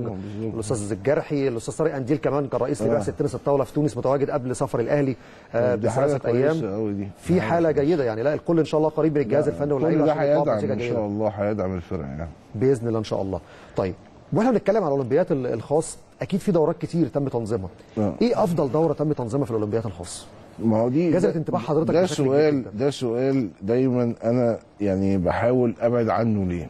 لأنه أفضل من أي ناحية لا أنا النهارده مثلا لو دولة زي موريتانيا استضافت ألعاب ما أقدرش أحاسبها في تقييمي زي ما حاسب مثلا مصر استضافت ألعاب صح؟ لأن دولة إمكانياتها السؤال هنا هل الدولة بذلت أقصى ما في وسعها في ظل إمكانياتها؟ اهتمت بالتنظيم. بالظبط كده. فمن الدول دي بقى اللي نقدر نقول فعلا نجحت كانت نجاح رهيب كانت وباخدها دايما مثال كانت دبلن في أيرلندا 2003 ليه؟ أيرلندا دي كلها على بعضيها 3 مليون شخص. وهذه الألعاب بتستضيف زي ما قلت لحضرتك 10000 تقريبا البعثات الرسمية وحط عليهم على الأقل أنت عارف دبلن بقى في وسط أوروبا حط عليهم على الأقل كانوا 100000 هناك ناس. ظاهرين في وسط البلد. بالظبط. ال ال ال الألعاب دي نجحت ليه؟ 35 ألف متطوع. 35 ألف متطوع ده رقم كبير جدا لدولة حجمها 3 مليون. يعني 35 ألف إحنا لما نقول في مصر ماشي طبيعي. 100 مليون 35 ألف ده عدد كلام بسيط جداً. جدا يعني. إنما في ايرلندا عدد غير عادي. ده عكس مدى الاهتمام. بالظبط. فهل النهارده أقدر أقول إن ايرلندا نجح؟ آه نجحت بكل المقاييس. كانت ألعاب غير عادية. ما نقدرش بقى نقول الصين طبعا لما نظمت 2007 بعديها على طول آه طبعا مذهلة برضه. لأن بس الصين بحجم الشعب الشعب بالظبط. فأنا بقول. في ظل يعني دايما لما نقيم نقول في ظل إمكانيات هذه الدولة. عشان كده لما يجوا حتى مثلا يقعدوا معايا يعني مسؤولين في الدول. مش عايزين نقول إن هم قيادات الدول لأن دي حقيقة فعلا. إحنا وصلنا لقيادات الدول في هذا المجال. لما بيقعدوا يسألوا والله يا باشمهندس قول لنا كده إحنا وضعنا إيه؟ يعني إحنا أحسن برنامج في المنطقة ولا لأ؟ كل واحد عايز أقول لهم لأ مفيش حاجة اسمها أحسن برنامج لأنه أحسن برنامج ده بناء على إمكانياتك. فحتة المقارنة دي مش موجودة إنما كل دولة تقيس إمكانياتها إيه وتقيس إنجازاتها إيه وتقدر تقول ده حسب برنامج إمكانياتها المتاحة. بالظبط ده ناجح ولا مش ناجح؟ طيب أنا عايز أتكلم أكتر على الملف الإماراتي. آه. نجاح أبو ظبي في استضافة الألعاب العالمية الصيفية استضافته يعني حضرتك كان ليك دور كبير في هذا الملف بس الكواليس استضافته إزاي؟ وفي نفس الوقت إيه العقبات اللي ممكن تواجهها؟ بص موضوع ملف أبو ظبي ده ما كانش سهل خالص لأن أنا تقدمت طبعا مش هقول أنا تقدمت بمين إنما أنا تقدمت 2011 باستضافة 2011 كانت المحاولة الأولى بدولة أخرى. وما نجحناش. يعني خسرنا قدام اليونان اللي هي اليونان فازت ب 2011 عندنا. آه 2019 أنا كنت زي ما بتقول إيه ناوي. يعني يا يا هتيجي يا هتيجي. لأنه خلاص دي المحاولة الأخيرة في ظل حتى على الأقل الأربع مدد اللي أنا كنت موجود فيها. فكان الخيار ما بين دولتين بصراحة للأمانة من وجهة نظري. دولة زي مصر بإمكانياتها البشرية لأن ما فيش إحنا محتاجين لنا 35 ألف متطوع ومحتاجين فوقيهم مثلا على الأقل آه، 50 60 ألف آه، جمهور في كل ماتش. يعني أنت الدولة عندك بشرية. هتلاقي ده في مصر. طاقة بشرية. بالظبط. والإمارات بصفتها عندها الإمكانيات والبنية التحتية الغير عادية برضو عشان نكون منصفين. فظروف مصر حضرتك طبعا عارف ظروف مصر كنا لازم نتقدم في 2014 وحضرتك طبعا عارف 2014 كانت الظروف عاملة إزاي. ما. ينفعش النهارده نيجي نقول والله الدولة تلتزم وتعمل خطاب ضمان والكلام اللي مطلوب كإجراءات دولية أي إجراءات لتنظيم أي حدث. رياضي كبير فاتج... فاتجهت فعلا للإمارات واتجهت للشيخ محمد بن زايد وقلنا يا جماعة آدي فرصة ادرسوها وقولوا لنا رأيكم إيه. أنا طبعا صراع كبير جدا لأن كل رئيس إقليمي بيحاول يجيب دولة يفوز بيها. آه الاستجابة كانت سريعة جدا من الشيخ محمد بن زايد. الملف كان مذهل بصراحة. حاجة يعني اللي هو عارف حضرتك لما تقول لك مثلا أحلام سعادتك اوامر هي أحلام سعادتك اوامر. كله اتنفذ على أرض الواقع. كله موجود موجود اوريدي مفيش حاجة هتتبني. مفيش حاجة في الدولة هتتبني خالص. كله مبني. هي الامكانيات. هناك بصراحة آه. الإمارات عندها أفضل زائد حضرتك يعني هم طبعا كدولة مش كبيرة آه، ما عندهاش القرية الأولمبية مثلا. عشان تستضيف ال 10000 اللي هيقعدوا. فتصور حضرتك أنا بقعد 10000 في أوتيلات five stars فمين هيعمل كده؟ القريات الأولمبية خارجا يعني خارجيا ما فيهاش نفس الإمكانيات فايف ستارز الفنادق ما والاوتيلات فيش قرية أولمبية لسه تستوعب هذا العدد 10000 في الإمارات لسه. الملاعب تستوعب آه إنما قرية أولمبية للإقامة تصور حضرتك لما قعد 10000 في أوتيلات. فده ده اللي هو أحلام سعادتك أوامر رسمي يعني إن إحنا نقعد في أوتيلات five stars يعني مش مش مش سهلة يعني. طيب آه آه ال- ال- أبو ظبي بعد ما تقدمت بالملف كله. حضرتك لك ان تتخيل تطلب دبي استضافة جزء من الألعاب. شوف بقى إحنا وصلنا لإيه؟ عشان يبقى في مرتين يبقى في إماراتين. فدرسنا الموضوع مع اللجنة المنظمة واتفقنا إن هم هياخدوا رياضتين. بس واخدين أكبر رياضتين. واخدين السباحة وألعاب القوة. ودول يمثلوا حوالي تلت العدد اللي رايح. دول هيبقى في دبي. آه هيبقوا في دبي. يعني 3000 من ال 10000 تقريبا هيكونوا في دبي. وال 7000 في أبو ظبي. برضه ستيل الرقم كبير جدا بالنسبة أكيد. للإمارات يعني. فإنما بصراحة عاملين ملف حاجة مذهلة. إمكانيات غير عادية. الشيخ محمد بن زايد سواء كان في أبو ظبي أو الشيخ محمد بن راشد في دبي قال لك اللي يعني اللي مطلوب يتعمل. وزيادة. المقارنة أو الإقليم الخاص التاني بقى في أوروبا أو في أمريكا كانت المنافسة إزاي؟ ما هو إحنا بقى عندنا مشكلة في الأولمبياد الخاص ان إحنا ما نقدرش ليه؟ ما نقدرش نتكلم على الدول المنافسة اللي دخلت بملفات وما فازتش ليه؟ لأن ولا حتى نعرف أسامي ما الدول نقدرش ليه بقى؟ ده بروتوكول. آه بروتوكول ليه؟ حضرتك إحنا حاجة إنسانية وللمعاقين فكريا تمام. وأنت جاي تمدلي إيدك وبتقول لي أنا هستضيف لك ألعاب عالمية آه المعنى وصل خلاص مش معقول أطلع تاني يوم أقول إنك خسرت. كسرت. صح ولا إيه؟ أيوة،. فالموضوع بيبقى سري للغاية، الدول المتقدمة في حالة سرية الحاجة الوحيدة اللي بيتم الإعلان عنها الدولة الفائزه. ولا حد يعرف مين كان متقدم، يعني هم حتى الدول المتقدمين ما يعرفوش مين الدول اللي كانوا ضدهم. اللي كانت ضدهم. فيها سرية تامة. تماما. تصويت مجلس إدارة ملوش أي تواجد إلا بقى لو حد من مجلس إدارة قال لدوله من الدول يعني. إنما ده ما بيحصلش لأن عملية خطيرة جدا. أنت حضرتك واحد جاي تمدلي إيدك أنا مش جاي بقول لك هستضيف كأس كرة القدم عشان هستفيد منك. لا ده أنا جاي أمدلك إيدي وبقول لك أنا كدولة هعمل لك الألعاب العالمية. لأنه مش 100% مش هيكسب نفس المكاسب بتاعت الكورة يعني. اختلاف نسب اختلاف نسبي كبير. آه يعني هو تقدم اليد الخير. مش معقول هنطلع نقول له أنت خسرت ونعمل له لا كويس حضرتك شرحت المعنى. لأن ال- بالظبط. حضرتك بتقول تفاصيل هي صغيرة جدا لكن فيها معاني كبيرة. بالظبط. وعلى فكرة نطبق الحكاية دي على مستوى الإقليم برضه. يعني الدولة اللي بتتقدم على مستوى الإقليم الدولة اللي بتفوز بس اللي بنعلن عنها. نفس الاستراتيجية. نفس الاستراتيجية. يعني مش معقول الناس جاية تقول لنا مثلا أصل إحنا كمان في في الإقليم عندنا إيه؟ عندنا آه، لالا سمية في المغرب آه، الأمير رعد بن زيد في الأردن الشيخ محمد بن زايد يعني الرئيس إن هو عبد الفتاح السيسي بنفسه مهتم بالموضوع مش معقول هيجي يتقدم بملف ونقول له تاني يوم أنت خسرت في الجرايد مش كده ولا إيه؟ صح طبعا يعني- صح صح. طيب وأنا بتكلم في تأسيس الحركة يمكن بنمر في الأيام القليلة الماضية بالاحتفال اليوبيلي الذهبي مرور 50 عام. أيوه بالظبط. في المناسبة دي انسات مصر فازوا بالميدالية البرونزية في كأس العالم لكرة القدم في شيكاغو أيوه. يعني لك إيه وتعليقك على هذا الموضوع؟ والله إحنا كان كأس العالم ده كان أول كأس عالم في كرة القدم. لأن إحنا ابتدينا نحط استراتيجية جديدة دلوقتي إن إحنا ما نكتفيش بالألعاب اللي بتبقى فيها كل الرياضات. لا هنعمل ال single sport اللي هي كأس عالم كرة قدم كأس عالم تنس وهكذا. فشيكاغو طلبت استضافة كاس العالم على هامش احتفالها لأن أول ألعاب عالمية أقيمت في شيكاغو. فهم قال لك نحتفل عندنا وتعملوا الاحتفال عندنا. فكان في الكأس العالم ده مكون من 16 فريق في الرجال دول اللي وصلوا التصفيات النهائية دور ال 16 وثمان فرق اللي وصلوا دور الثمانيه في السيدات.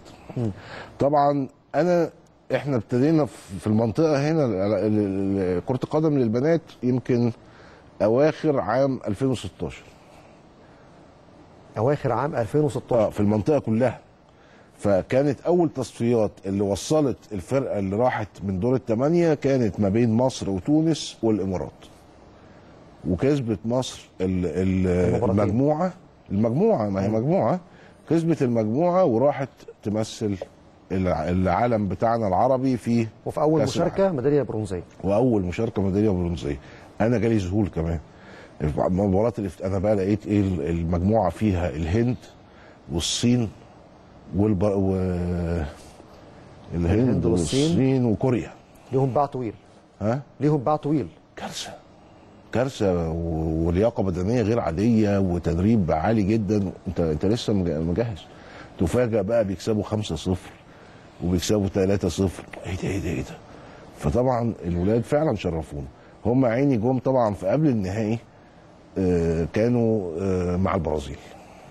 ملوك اللعبة. آه بالظبط. والبرازيل أنت عارف بقى وما أدراك ما البرازيل. يعني بس والله خسروا بشرف جدا. كانت 4 2 يعني ماتش كان طب دي نتيجة ممتازة. آه آه. كان ماتش كويس جدا. يعني يمكن برضو كان فيها ظلم شوية تحكيمي فوتناها لأن برضو أنت خد بالك إحنا مش برضو الميدالية مش هي الأساس.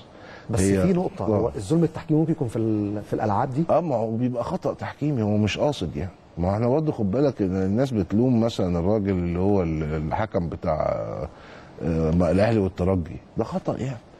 هو كلنا معرضين للخطأ يعني. هو شايف الموضوع من من وجهة نظر ويمكن حتى ال- الفار شايفاها من وجهة نظر تانية. خد بال حضرتك انه إن هو وقفته في الملعب بتحكمه برضه. صح. ويمكن الفار مش مصور الزاوية دي خالص. صح. يعني يعني أنا خيالي أنا لما أنا بصيت على البنالتي الأولانية في معرفش هل هو ده هيبقى صح ولا لأ بس أنا مقتنع إن الفخذ الشمال لحارس المرمى في ضربة الجزاء الأولى. آه هو اللي عرقل مش اليمين ومش اليد.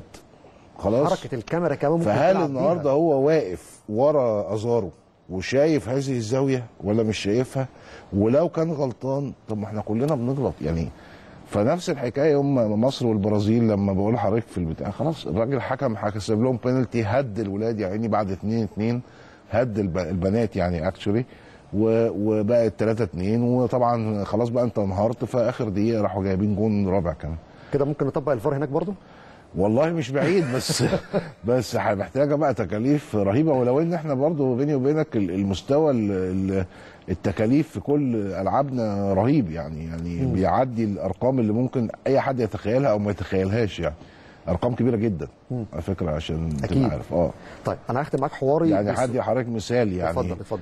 آه الألعاب الإقليمية أنا مش بقول العالمية. الإقليمية. الألعاب الإقليمية اللي أقيمت في أبو ظبي حضرتك تكلفتها كانت كام؟ 90 مليون درهم. يعني مبلغ كبير. 450 مليون جنيه. ليه؟ زي ما بقول لك مقعدين الولاد يقول لك النهارده الولاد دول يعني يمكن في منهم ما بيقدروش مثلا ياكلوا لحمة يوميا. ما يقدروش يعني ما عندهمش هذه الإمكانيات من عائلات بسيطة جدا. فتيجي تقعد الولاد دول في five stars hotel يقول لك هو ده اللي يستحق. هو ده اللي تصرف عليه. ده اللي تصرف عليه. بالظبط. ليها معاني نفسية مهمة جدا والله. جدا جدا. وهم على فكرة بالذات يعني يمكن قال زايد بصراحة يعني أنا يمكن الوالد كان في القوات المسلحة آه، زمان. ومن قيادات القوات المسلحة يعني. وكان دايما يقول الراجل ده عمل خير كتير لمصر ودي حقيقة فعلا لأن أنا لما تابعته لا الناس دي عندهم إنسانية غير عادية. دي حقيقة يعني بصرف النظر إيه العائد يعني. طيب بهذه المناسبة أختم حواري مع حضرتك وأنا بتكلم على الألعاب الإقليمية الثامنة عام 2014 وده آخر سؤال في حوارنا. آه. افتتاح السيد الرئيس فخامة رئيس الجمهورية عبد الفتاح السيسي لهذه المناسبة الألعاب الإقليمية الثامنة. رأيت الافتتاح إزاي وقوة الدفع من سياده عمل نقلة رهيبة بقى. ليه؟ لأن أنا هقول لحضرتك إحنا كنا ماشيين لغاية 2010 كل عامين.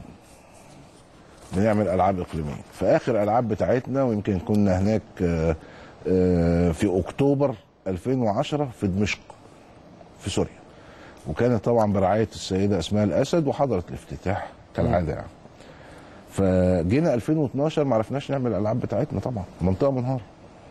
فقلنا والله هنعملها 2014 آه، عارف حضرتك لما بتكون مثلا آه، محتاج قبلة الحياة مرة أخرى؟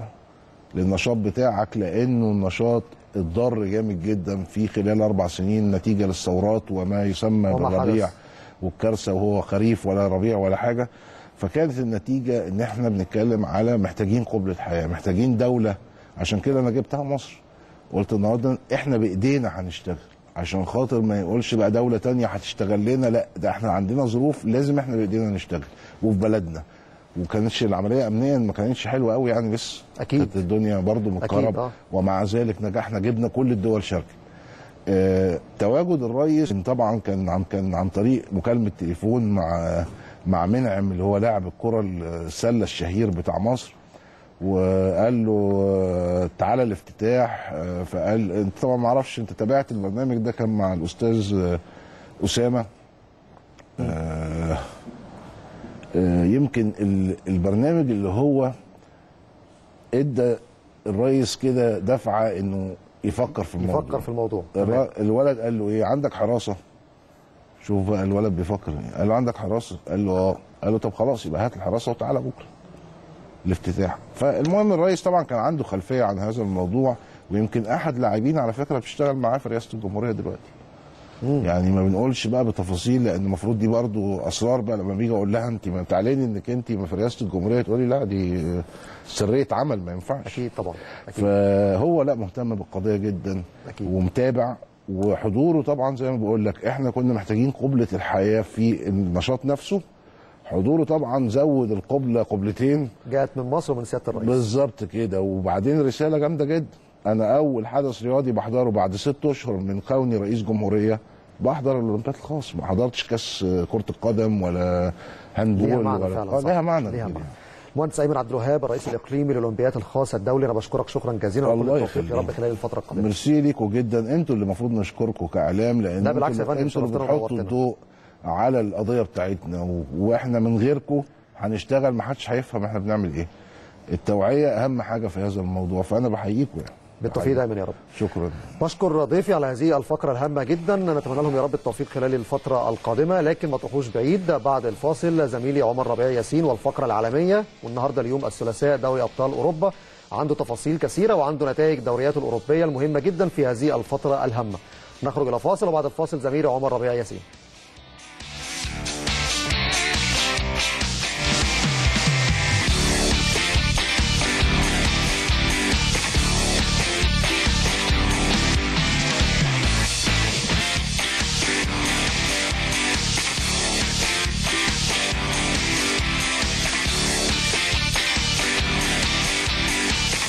السلام عليكم ورحمة الله وبركاته. أهلا بكل مشاهدي قناة النادي الأهلي في كل مكان والجزء الثالث والأخير في الأهلي الليلة وهو جزء القرى العالمية. طبعا آه، مباريات دوري أبطال أوروبا بتقام حاليا. إحنا عارفين إن النظام الجديد آه، قسم اللقاءات على آه، ميعادين. الميعاد الأول الساعة 8 بالتوقيت الشتوي الجديد والميعاد ال- الآخر الساعة 10 وبالتالي بتقام مباراة حاليا أو مباراتين. بس طبعا بما أن المباراة اللي إحنا نجمنا المصري محمد صلاح بيشارك فيها الآن فهي المباراة اللي مركزين عليها واللي أكيد هنتناقش مع حضراتكم وهنقول لحضراتكم النتائج وأيضا الإحصائيات. مباراة موناكو وكلوب روج ودي مفاجأة بالنسبة لي إن تياري أونري مع فريق موناكو مش موفق بالمرة.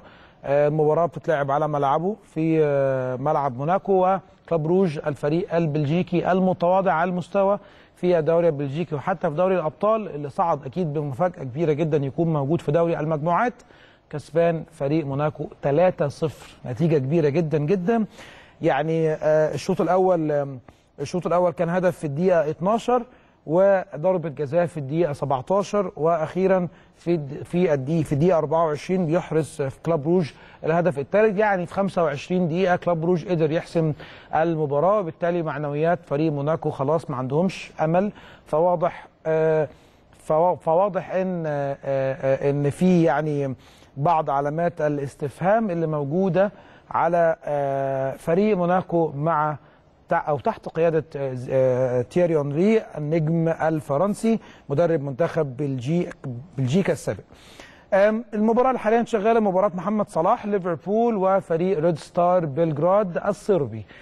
طبعا فريق ليفربول خسران 2-0 مباراة مهمة جدا مباراة يعني كنا نتمنى إن فريق ليفربول يحدث فيها أي نتيجة إيجابية وبالتالي علشان يضمن صعوده إلى دور ال 16 ليه بقول الكلام ده؟ علشان ليفربول عنده لقاءين غاية في القوة. مباراة القادمة والبعد القادمة نابولي وباريس سان جيرمان باريس سان جيرمان هتكون على ملعب استاد دو فرانس أو حديقة الأمراء في فرنسا في ملعب باريس سان جيرمان والمباراة الثانية هتكون على ملعب الأنفيلد مباراة نابولي.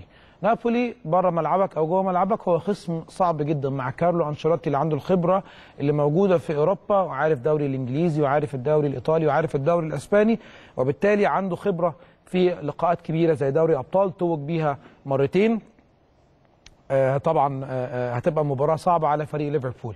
آه المباراة آه حصل فيها آه حادثة آه خاصة بشاكيري آه النجم السويسري الجنسية الألباني المولد. حصل موقف في إن, إن تم استبعاد شاكيري من المباراة. السبب نرجع لكأس العالم ونرجع لمباراة سويسرا وصربيا في دور المجموعات وهدف شاكيري القاتل اللي بينجح في إحرازه لصالح المنتخب السويسري ويجري شاكيري بعد الاحتفال ويعمل إشارة بإيده. آه كل الناس كانت بتتساءل إيه الإشارة اللي, اللي, بيشير ليها آه شاكيري بعد إحرازه للهدف. طبعا بعد المباراة حصلت بعض المناوشات وبعض الكلام الكتير جدا على مواقع التواصل الاجتماعي وأيضا شكاوي من الاتحاد الصربي لكرة القدم للفيفا من أجل إحداث آه تدخل سياسي في الرياضة. ليه بقول الكلام ده وإيه هو التدخل السياسي في الرياضة وإيه علاقة اللي أنا بقوله بالماتش بتاع النهارده كلام كتير كده بقوله ممكن يكون مش مفهوم. لكن همسك مع حضراتكم واحدة واحدة. شاكيري هو ألباني آآ آآ الأصل أو المولد. وبالتالي شاكيري لما كان موجود الاتحاد السوفيتي وصربيا في زمن بعيد جدا أو من 30 40 سنة كانت كانت ألبانيا تحت الحكم الصربي أو كانت تحت حكم الاتحاد السوفيتي أو كان في بعض الخلافات اللي موجودة ما بين صربيا وما بين ألبانيا.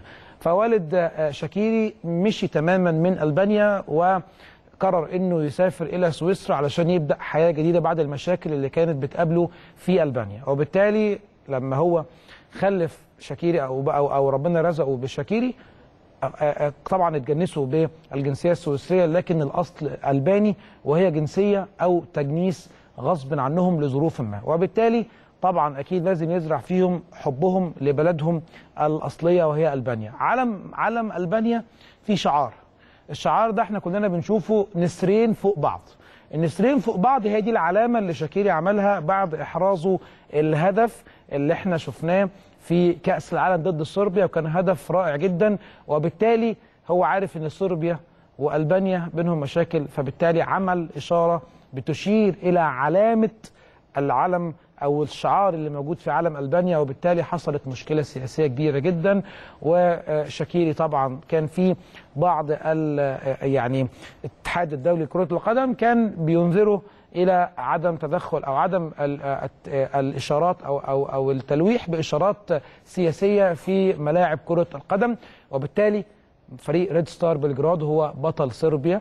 وبالتالي مش عمرهم ما هينسوا اللي عمله شاكيري ولا جنسية شاكيري الأصلية إن هو يكون موجود في صربيا. وبالتالي يورجن كلوب فضل عدم آه، آه، آه، ذهاب شاكيري إلى صربيا مع فريق ليفربول.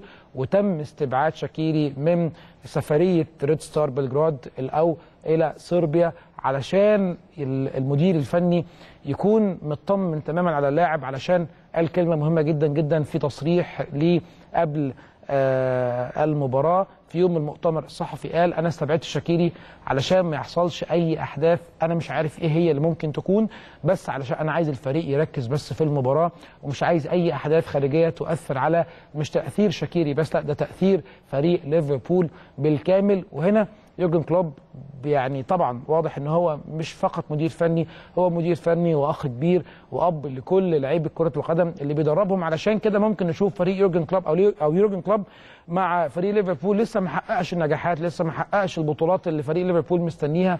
لكن هو أي حد اتمرن تحت قيادة فريق تحت قيادة مدير فني يورجن كلوب هيقول لك يورجن كلوب بالنسبة لي هو أكتر مدير فني نفسيا عرفت إن أنا أستريح معاه وعرفت إن أنا أتعامل معاه بالشكل المطلوب. علاقة آه، مش علاقة مدير فني بلاعب كرة قدم لا هي هي علاقة أب بابنه أو أخ أكبر لأخ أصغر منه. وبالتالي ليفربول بيفقد أحد الأسلحة المهمة جدا جدا جدا اللي موجودة معاه في رحلة قوية جدا. المباراة 2-0 بنلعب في الدقيقة 80 ناقص 10 دقائق فريق ريد ستار بلجراد بيتقدم في الشوط الأول بهدفين. آه، طبعا محمد صلاح موجود في التشكيلة الرئيسية لكن تشكيلة ليفربول زي ما إحنا عارفين كالعادة طبعا أليسون بيكر في حراسة المرمى أربعة في خط الدفاع روبرتسون ناحية الشمال وأرنولد ناحية اليمين اثنين في قلب الد- الدفاع جويل ماتيب وفان دايك وفينالدوم في نص الملعب. وآدم لالانا قبل ما يتبدل حالا آه، يحصل تبديل وأيضا ميلنر ناحية اليمين في نص الملعب والثلاثي الهجومي ستوريدج وصلاح وماني. حصل بعض التغييرات اللي أجراها يورجن كلوب بنزول آه، آه، جوميز وفيرمينيو وطبعا أوريجي ويعني التغييرات اللي دفع بيها يورجن كلوب ما عملتش أي فارق في النتيجة حتى الآن. فريق ريد ستار أنا شايف إن دي بالنسبة له يعني مفاجأة كبيرة جدا. آه ليفربول لو هنتكلم على موقف المجموعة قبل ما فريق آه باريس سان جيرمان ونابولي يلعبوا لكن بنتكلم في وضع المباراة الحالي إن فريق ليفربول عنده ست نقاط. آه طيب وإحنا بنتكلم مع حضراتكم على الكرة العالمية يعني أكيد النادي الأهلي هو الأصل هو الحدث الأكبر إن شاء الله مباراة يوم الجمعة. ده مباشر بث مباشر مع حضراتكم حالا من تونس. آه، آه، عودة عودة بعثه النادي الأهلي من التدريبات. ده قدام حضراتكم على الهواء مباشرة. النادي الأهلي بيخلص تدريباته استعدادا للقاء يوم الجمعة إن شاء الله بيعود إلى آه، مقر الإقامة وإلى الفندق علشان يستعد بقى سواء كان في محاضرة سواء كان في آه، بعض الكلام اللي مستر كارتيرون هيكون حريص على إنه يتكلم مع لعيبته قبل مباراة الجمعة. لكن زي ما حضراتكم شايفين معاكم لحظة بلحظة من على الهواء مباشرة من تونس علشان نغطي معاكم كل الأحداث الخاصة ببعثه النادي الأهلي. لحد إن شاء الله يوم المباراة كل التوفيق للنادي الأهلي في مباراة يوم الجمعة. إن شاء الله يوم 9 الساعة 9 ويكون اللقب التاسع بعون الله. نرجع تاني مع حضراتكم للكرة العالمية وكلامنا على آه، موقف المجموعة اللي كنا بنتكلم عليها في حالة فوز فريق ريد ستار بلجراد وهو ده الأقرب آه، لنتيجة المباراة حتى الآن. آه، ليفربول عنده ست نقاط في المركز الأول. نابولي عنده خمس نقاط لكن عنده مباراة مع فريق باريس سان جيرمان اللي هتتلعب الساعة 10 إن شاء الله. باريس سان جيرمان في المركز الرابع عنده أربع نقاط بيتساوى مع فريق ريد ستار بلجراد أربع نقاط. وبالتالي المجموعة آه، آه، اتعقدت أكتر. بقى في كلاكيع بقى في دايما حزب الديرما اللي إحنا دايما متعودين عليها مع منتخبنا آه، المصري دايما في البطولات العالمية والتاهل لبطولة كأس العالم. لكن هنا بقى السؤال. ليفربول عنده ست نقاط، نابولي وباريس سان جيرمان. المباراة هتكون على ملعب نابولي وبالتالي نابولي فرصه بتكون أكبر شوية بما إن إحنا بنتكلم على صاحب الأرض. لكن طبعا يوم المباراة وشكل لاعب داخل المباراة بيكون مختلف تماما عن توقعاتنا. لكن لو فريق نابولي فاز هيبقى عنده 8 نقاط. باريس سان جيرمان هيقف نقاطه عند أربعة. هيبقى المركز الثالث. المباراة اللي, اللي جاية لفريق ليفربول عنده نابولي وعنده باريس سان جيرمان. نابولي لو فاز على فريق آه، طبعا كمان نابولي عنده مباراة مع ريد ستار بلجراد وباريس سان جيرمان عنده مباراة مع ريد ستار بلجراد فهنا مشكلة ليفربول إن هو خلص لقاءين الاثنين مع فريق مع فريق ريد ستار. واحدة كسب فيها 4-0 على ملعبه والثانيه خسران فيها 2-0 وبالتالي عنده ست نقط صعبين جدا لازم على الأقل لازم على الأقل يعني ياخذ ثلاث نقط من أي من الفريقين. الأقرب إن فريق نابولي رايح لفريق ليفربول على ملعب الأنفيلد فده أقرب ثلاث نقاط ممكن يحققهم فريق آه، ليفربول. لو حابب إن هو يصعد إلى دور 16 لكن ليفربول لو ما حققش نتائج إيجابية في المباراتين المقبلتين ممكن وده الأرجح إن هو يكون في المركز الثالث ويروح إلى اليوروبا ليج علشان يفقد واحدة من أهم البطولات اللي بيكون ليفربول مميز فيها مع فريق يورجن كلوب. الموسم الماضي كان وصيف النسخة الأخيرة في النهائي الشهير ريال مدريد واصابه محمد صلاح. وبالتالي ده موقف فريق ليفربول. هنتابع- معاكم لحظة بلحظة نتائج المباريات. كلوب بروج بينجح في إحراز الهدف الرابع وبيزيد من أوجاع فريق موناكو علامات استفهام كتيرة جدا. زي ما قلت لحضراتكم هنشوف بعد المباراة. الصحافة الفرنسية هتكتب إيه عن الفضيحة ال- ال- اللي حاصلة قدام حضراتكم أربع اهداف لموناكو أو على ملعب موناكو لصالح كلوب بروج. وأنا شايف إن هي يعني ما فيش حظ مع مع فريق آه، موناكو ولا مع آه، تييري اونري منذ توليه المسؤولية؟ هل بقى بسبب إن لسه محتاج بعض التدعيمات؟ هل في بعض الكلام على صفقات كتيرة في شهر يناير ولا لأ؟ إحنا عارفين إن دايما موناكو فريق بي- بيكبر وبعد كده بيبيع الأندية. أبرزهم طبعا وآخرهم إمبابي اللي تم إعارته وهيتباع إلى فريق آه، باريس سان جيرمان. الساعة 10 هيكون معانا مباريات تانية ل آه، آه، UEFA Champions League أتلتيكو مدريد هيلاعب بروسيا دورتموند الساعة 10 توتنهام وبي اس في ايندهوفن وانتر ميلان وبرشلونه ومباراة مهمة جدا جدا. رسميا طبعا ميسي هيغيب عن المباراة. كان طبعا سافر مع الفريق ومتواجد حاليا في ملعب سان سيرو لكن بعد ما تم إعلان التشكيل وهقوله لحضراتكم دلوقتي هيغيب رسميا آه، ميسي عن المباراة لكن أكيد وجوده مع الفريق وإن هو بدأ يتعافى آه، يعني شوية شوية أكيد مهم جدا وجوده على آه، آه، مش حتى مقاعد البدلاء حتى هو بيتفرج من خارج الملعب لكن وجوده في الملعب مع زمايله بيدي دافع معنوي. بالمناسبة برشلونة أربع مباريات بدون ميسي مكسب مفيش تعادل ولا هزيمة. وبالتالي زي ما أنا قلت شخصية برشلونة أو شخصية ال- ال- ال- النجوم الكبار اللي موجودين بيظهروا لما النجم الأكبر بيغيب. برشلونة هيلعب بتير شتيجن في حراسة المرمى أربعة في خط الدفاع ألبا ولونجلي وبيكي وسيرجيو روبرتو. ثلاثة في نص الملعب. بوسكيتس إرتكاز قدامه أرثر وراكيتيتش ثلاثة آه، في خط الهجوم. عثمان ديمبلي وسواريز وكوتينيو. طبعا كلهم نجوم مفيش شك لكن أكيد إنتر ميلان تشكيلة أكيد يعني أبرز الأسماء اللي موجودة في تشكيلة إنتر ميلان. نتكلم على إيكاردي واحد من من أمتع المهاجمين اللي موجودين في العالم. بالمناسبه إن إحنا بنتكلم على إنتر وإيكاردي إيكاردي رفض إن هو يجدد عقده مع فريق إنتر ميلان وده تمهيدا على ما يعني على ما آه، أنا شايف يعني أو بنتكلم على كلام الصحف العالمية زي ما هي كاتبة إن إيكاردي بيمهد انتقاله إلى فريق ريال مدريد في آه، ال- الانتقالات الشتوية القادمة. وده أنا شايف إن هو اختيار جيد بالنسبة لفريق ريال مدريد. لو هو حب أو يفكر في تعاقد مع رأس حربة كان في كلام على ليفاندوفسكي أو هاري كين. أنا شايف إن هي هاري كين أو إيكاردي أي اثنين منهم أعتقد ان هيكون صفقة في محلها وصفقة هتفيد كتير جدا فريق ريال مدريد. إيكاردي هيلعب في خط الهجوم. طبعا بيريسيتش هيلعب وناينجولان هيلعب وبروزوفيتش كمان هيكون موجود في نص الملعب. دول أبرز اللعيبة أو أو أكتر اللعيبة اللي حضراتكم أو ساده المشاهدين عندهم خلفية عنها أو عارفينهم قبل كده سواء مع فريق روما أو كمان مع منتخب كرواتيا في بطولة كأس العالم الأخيرة مع مع راكيتيتش ومودريتش وبالتالي تشكيلة برشلونة وإنتر ميلان. خلاص تم الإعلان عنها وميسي هيغيب رسميا عن المباراة. برشلونة لو فاز النهارده في المباراة خلاص 12 نقطة. ضمن رسميا هيكون أول فريق أو أول من ضمن تأهله رسميا إلى دور ال 16 في انتظار إنتر ميلان أو توتنهام. آه، مين اللي هيلحق بيه؟ الأقرب طبعا فريق إنتر ميلان لكن توتنهام عنده مباراة يعني مع بي اس في اندهوفن في ملعب توتنهام آه، ملعب ويمبلي فبالتالي فرص توتنهام أقرب لكن انتر ميلان عنده فرصة كبيرة أكيد مش عايزين نقلل من فرص فريق انتر ميلان على ملعبه إنه يقدر إن هو يتفوق على فريق برشلونة ويحصل على ثلاث نقاط. المباراه الثانية أو المباراه الرابعة مباراة نابولي وباريس سان جيرمان على ملعب آه، نابولي مباراة كده تكون قوية جدا. تم الإعلان عن التشكيل وجود امبابي ونيمار ودي ماريا في الثلاثي الهجومي. طبعا دراكسلر في نص الملعب وبوفون آه، هيكون موجود أيضا في حراسة المرمى. بوفون يعني كان الفترة الأخيرة مش موجود مع فريق باريس سان جيرمان لكن الخبرة بتحتم على آه، المدير الفني إنه يتم إشراك آه، بوفون.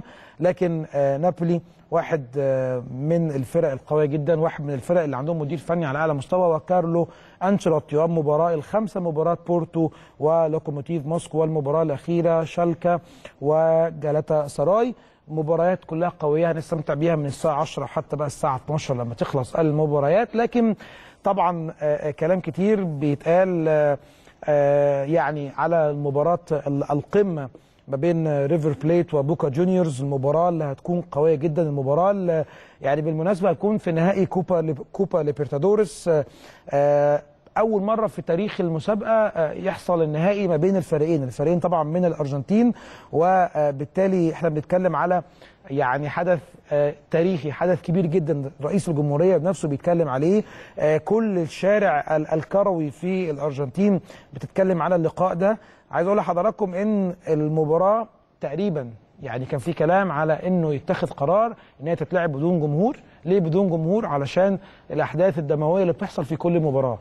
الأحداث الدموية بتحصل يعني بتحصل أحداث غير طبيعية في الملعب. ملعب لا بومبونيرا ملعب بوكا جونيورز أو معقل بوكا جونيورز بال- بالهيبة الرهيبة اللي موجودة بالجمهور اللي بيكون ما بينه وما بين أرضية الملعب يعني أمتار بسيطة جدا بيقلب شكل اللقاء.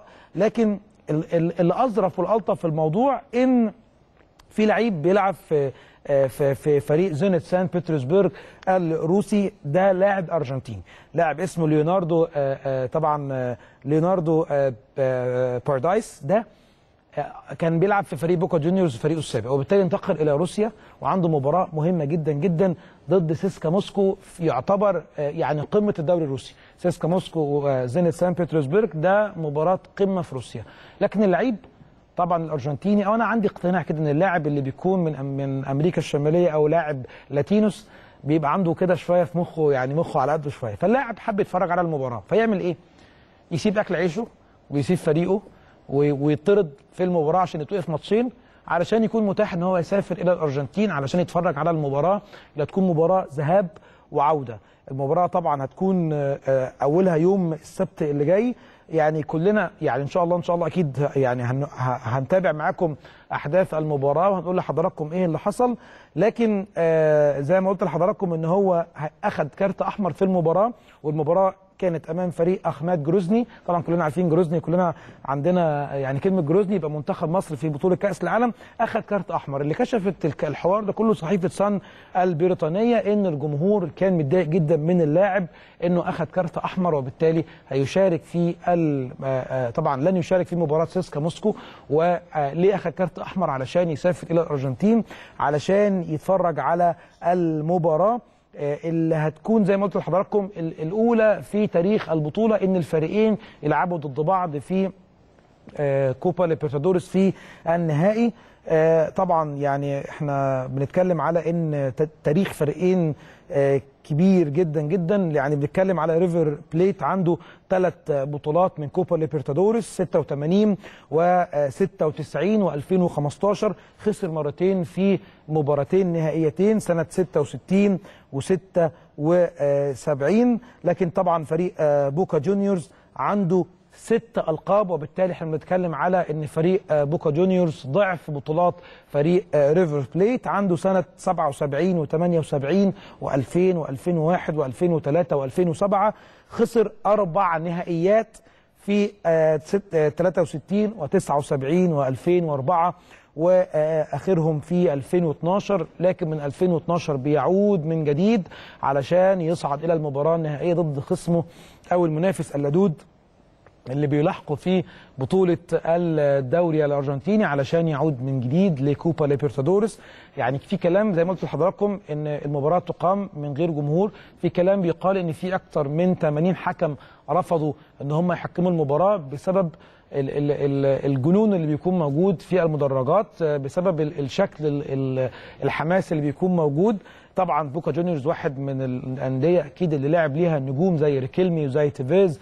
طبعا مارادونا بيتكلم في أندية يعني في نجوم لعبوا لفريق بوكا جونيورز تاريخ كبير جدا جدا للنادي العريق.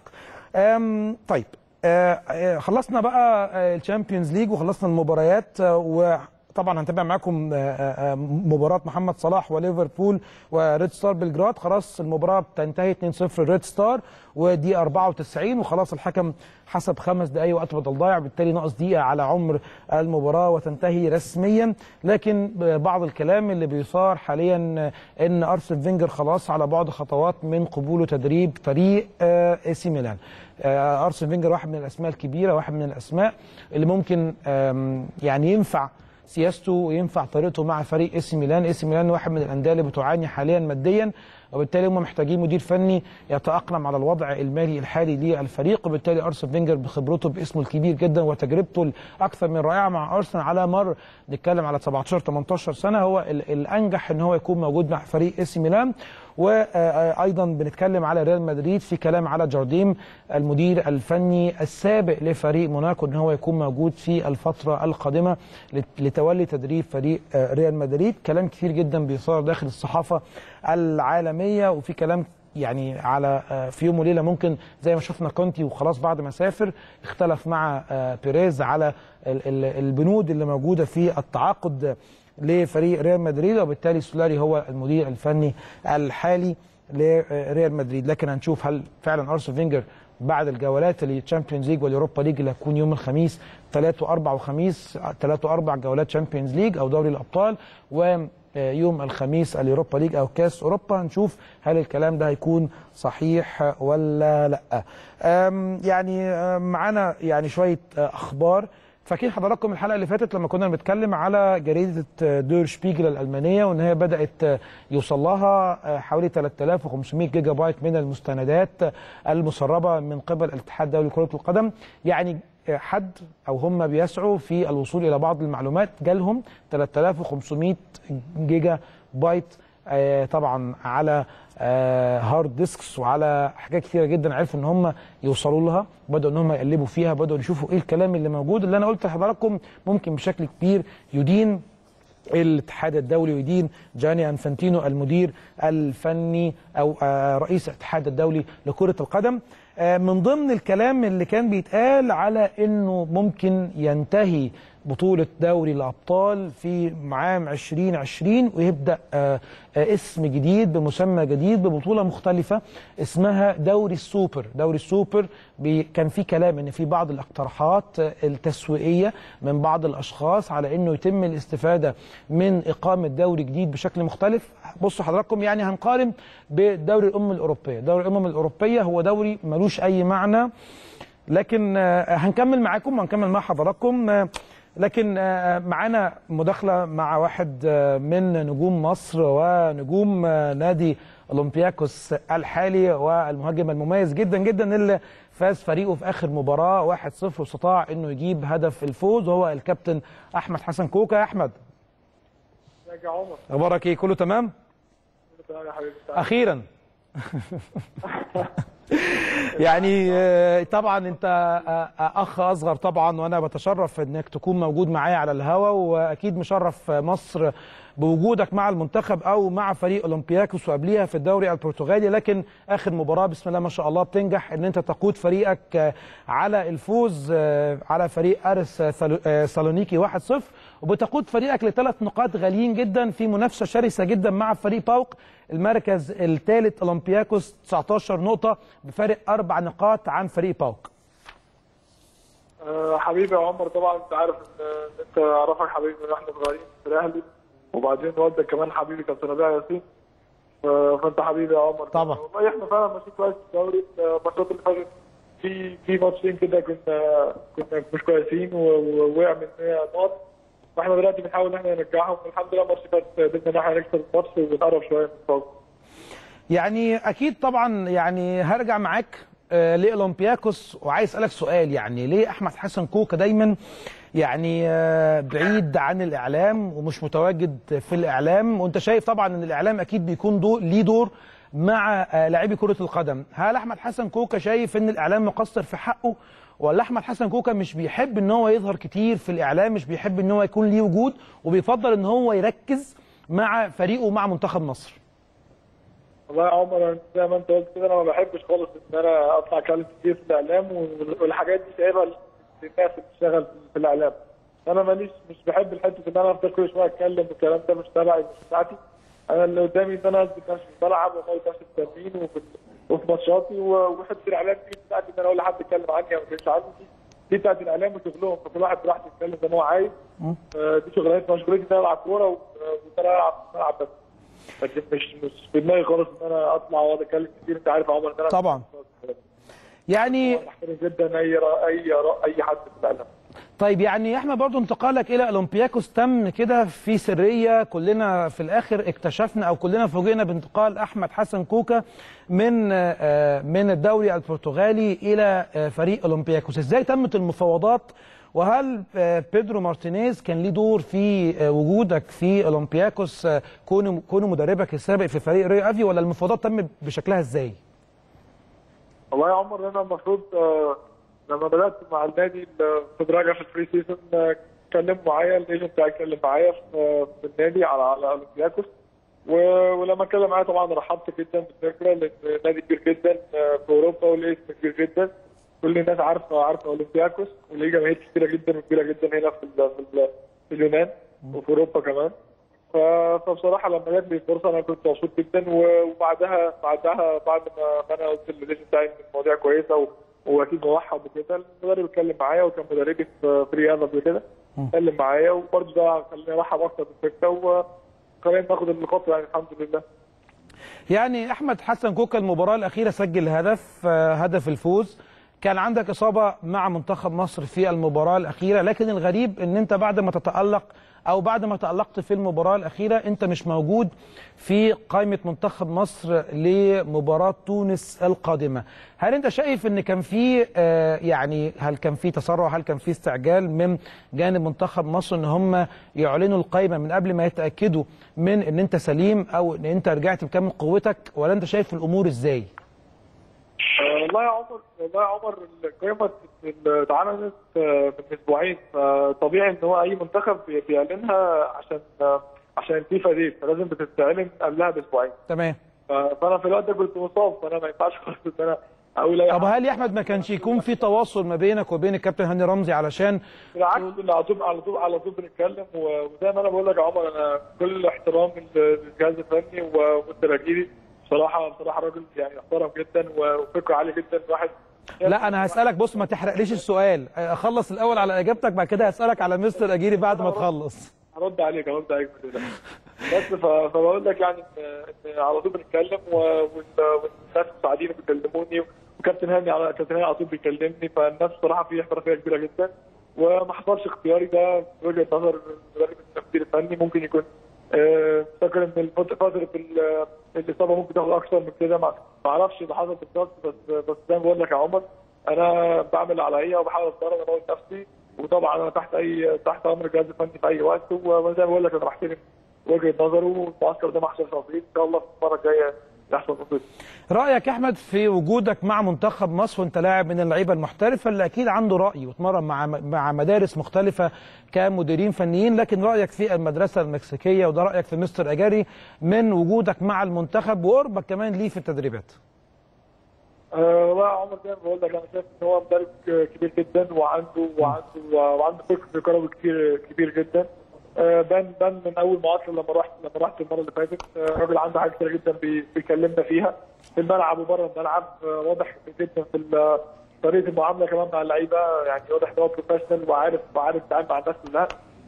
فدي أنا حاجة شايفها كويسة جدا. و بتمنى طبعا كل التوفيق للمنتخب وبتمنى التوفيق معانا وربنا يكرمنا إن شاء الله. بس ما بقول لك يعني هو فعلا مدرب كويس جدا ومعاه معاه مساعدين على أعلى مستوى. وكمان كابتن هاني رمزي آه، كان محترف و- وعارف وعارف آه، ال- الكرة الأوروبية والكرة الأفريقية وليه خبرة كبيرة جدا برضه في الملعب. آه، فزي ما بقول لك أنا بصراحه الدنيا الدنيا كويس جدا في المنتخب والناس الناس محترمه شغلها على اعلى مستوى وبنحاول ندي أكتر حاجة عندنا بحيث إحنا فرح بلدنا.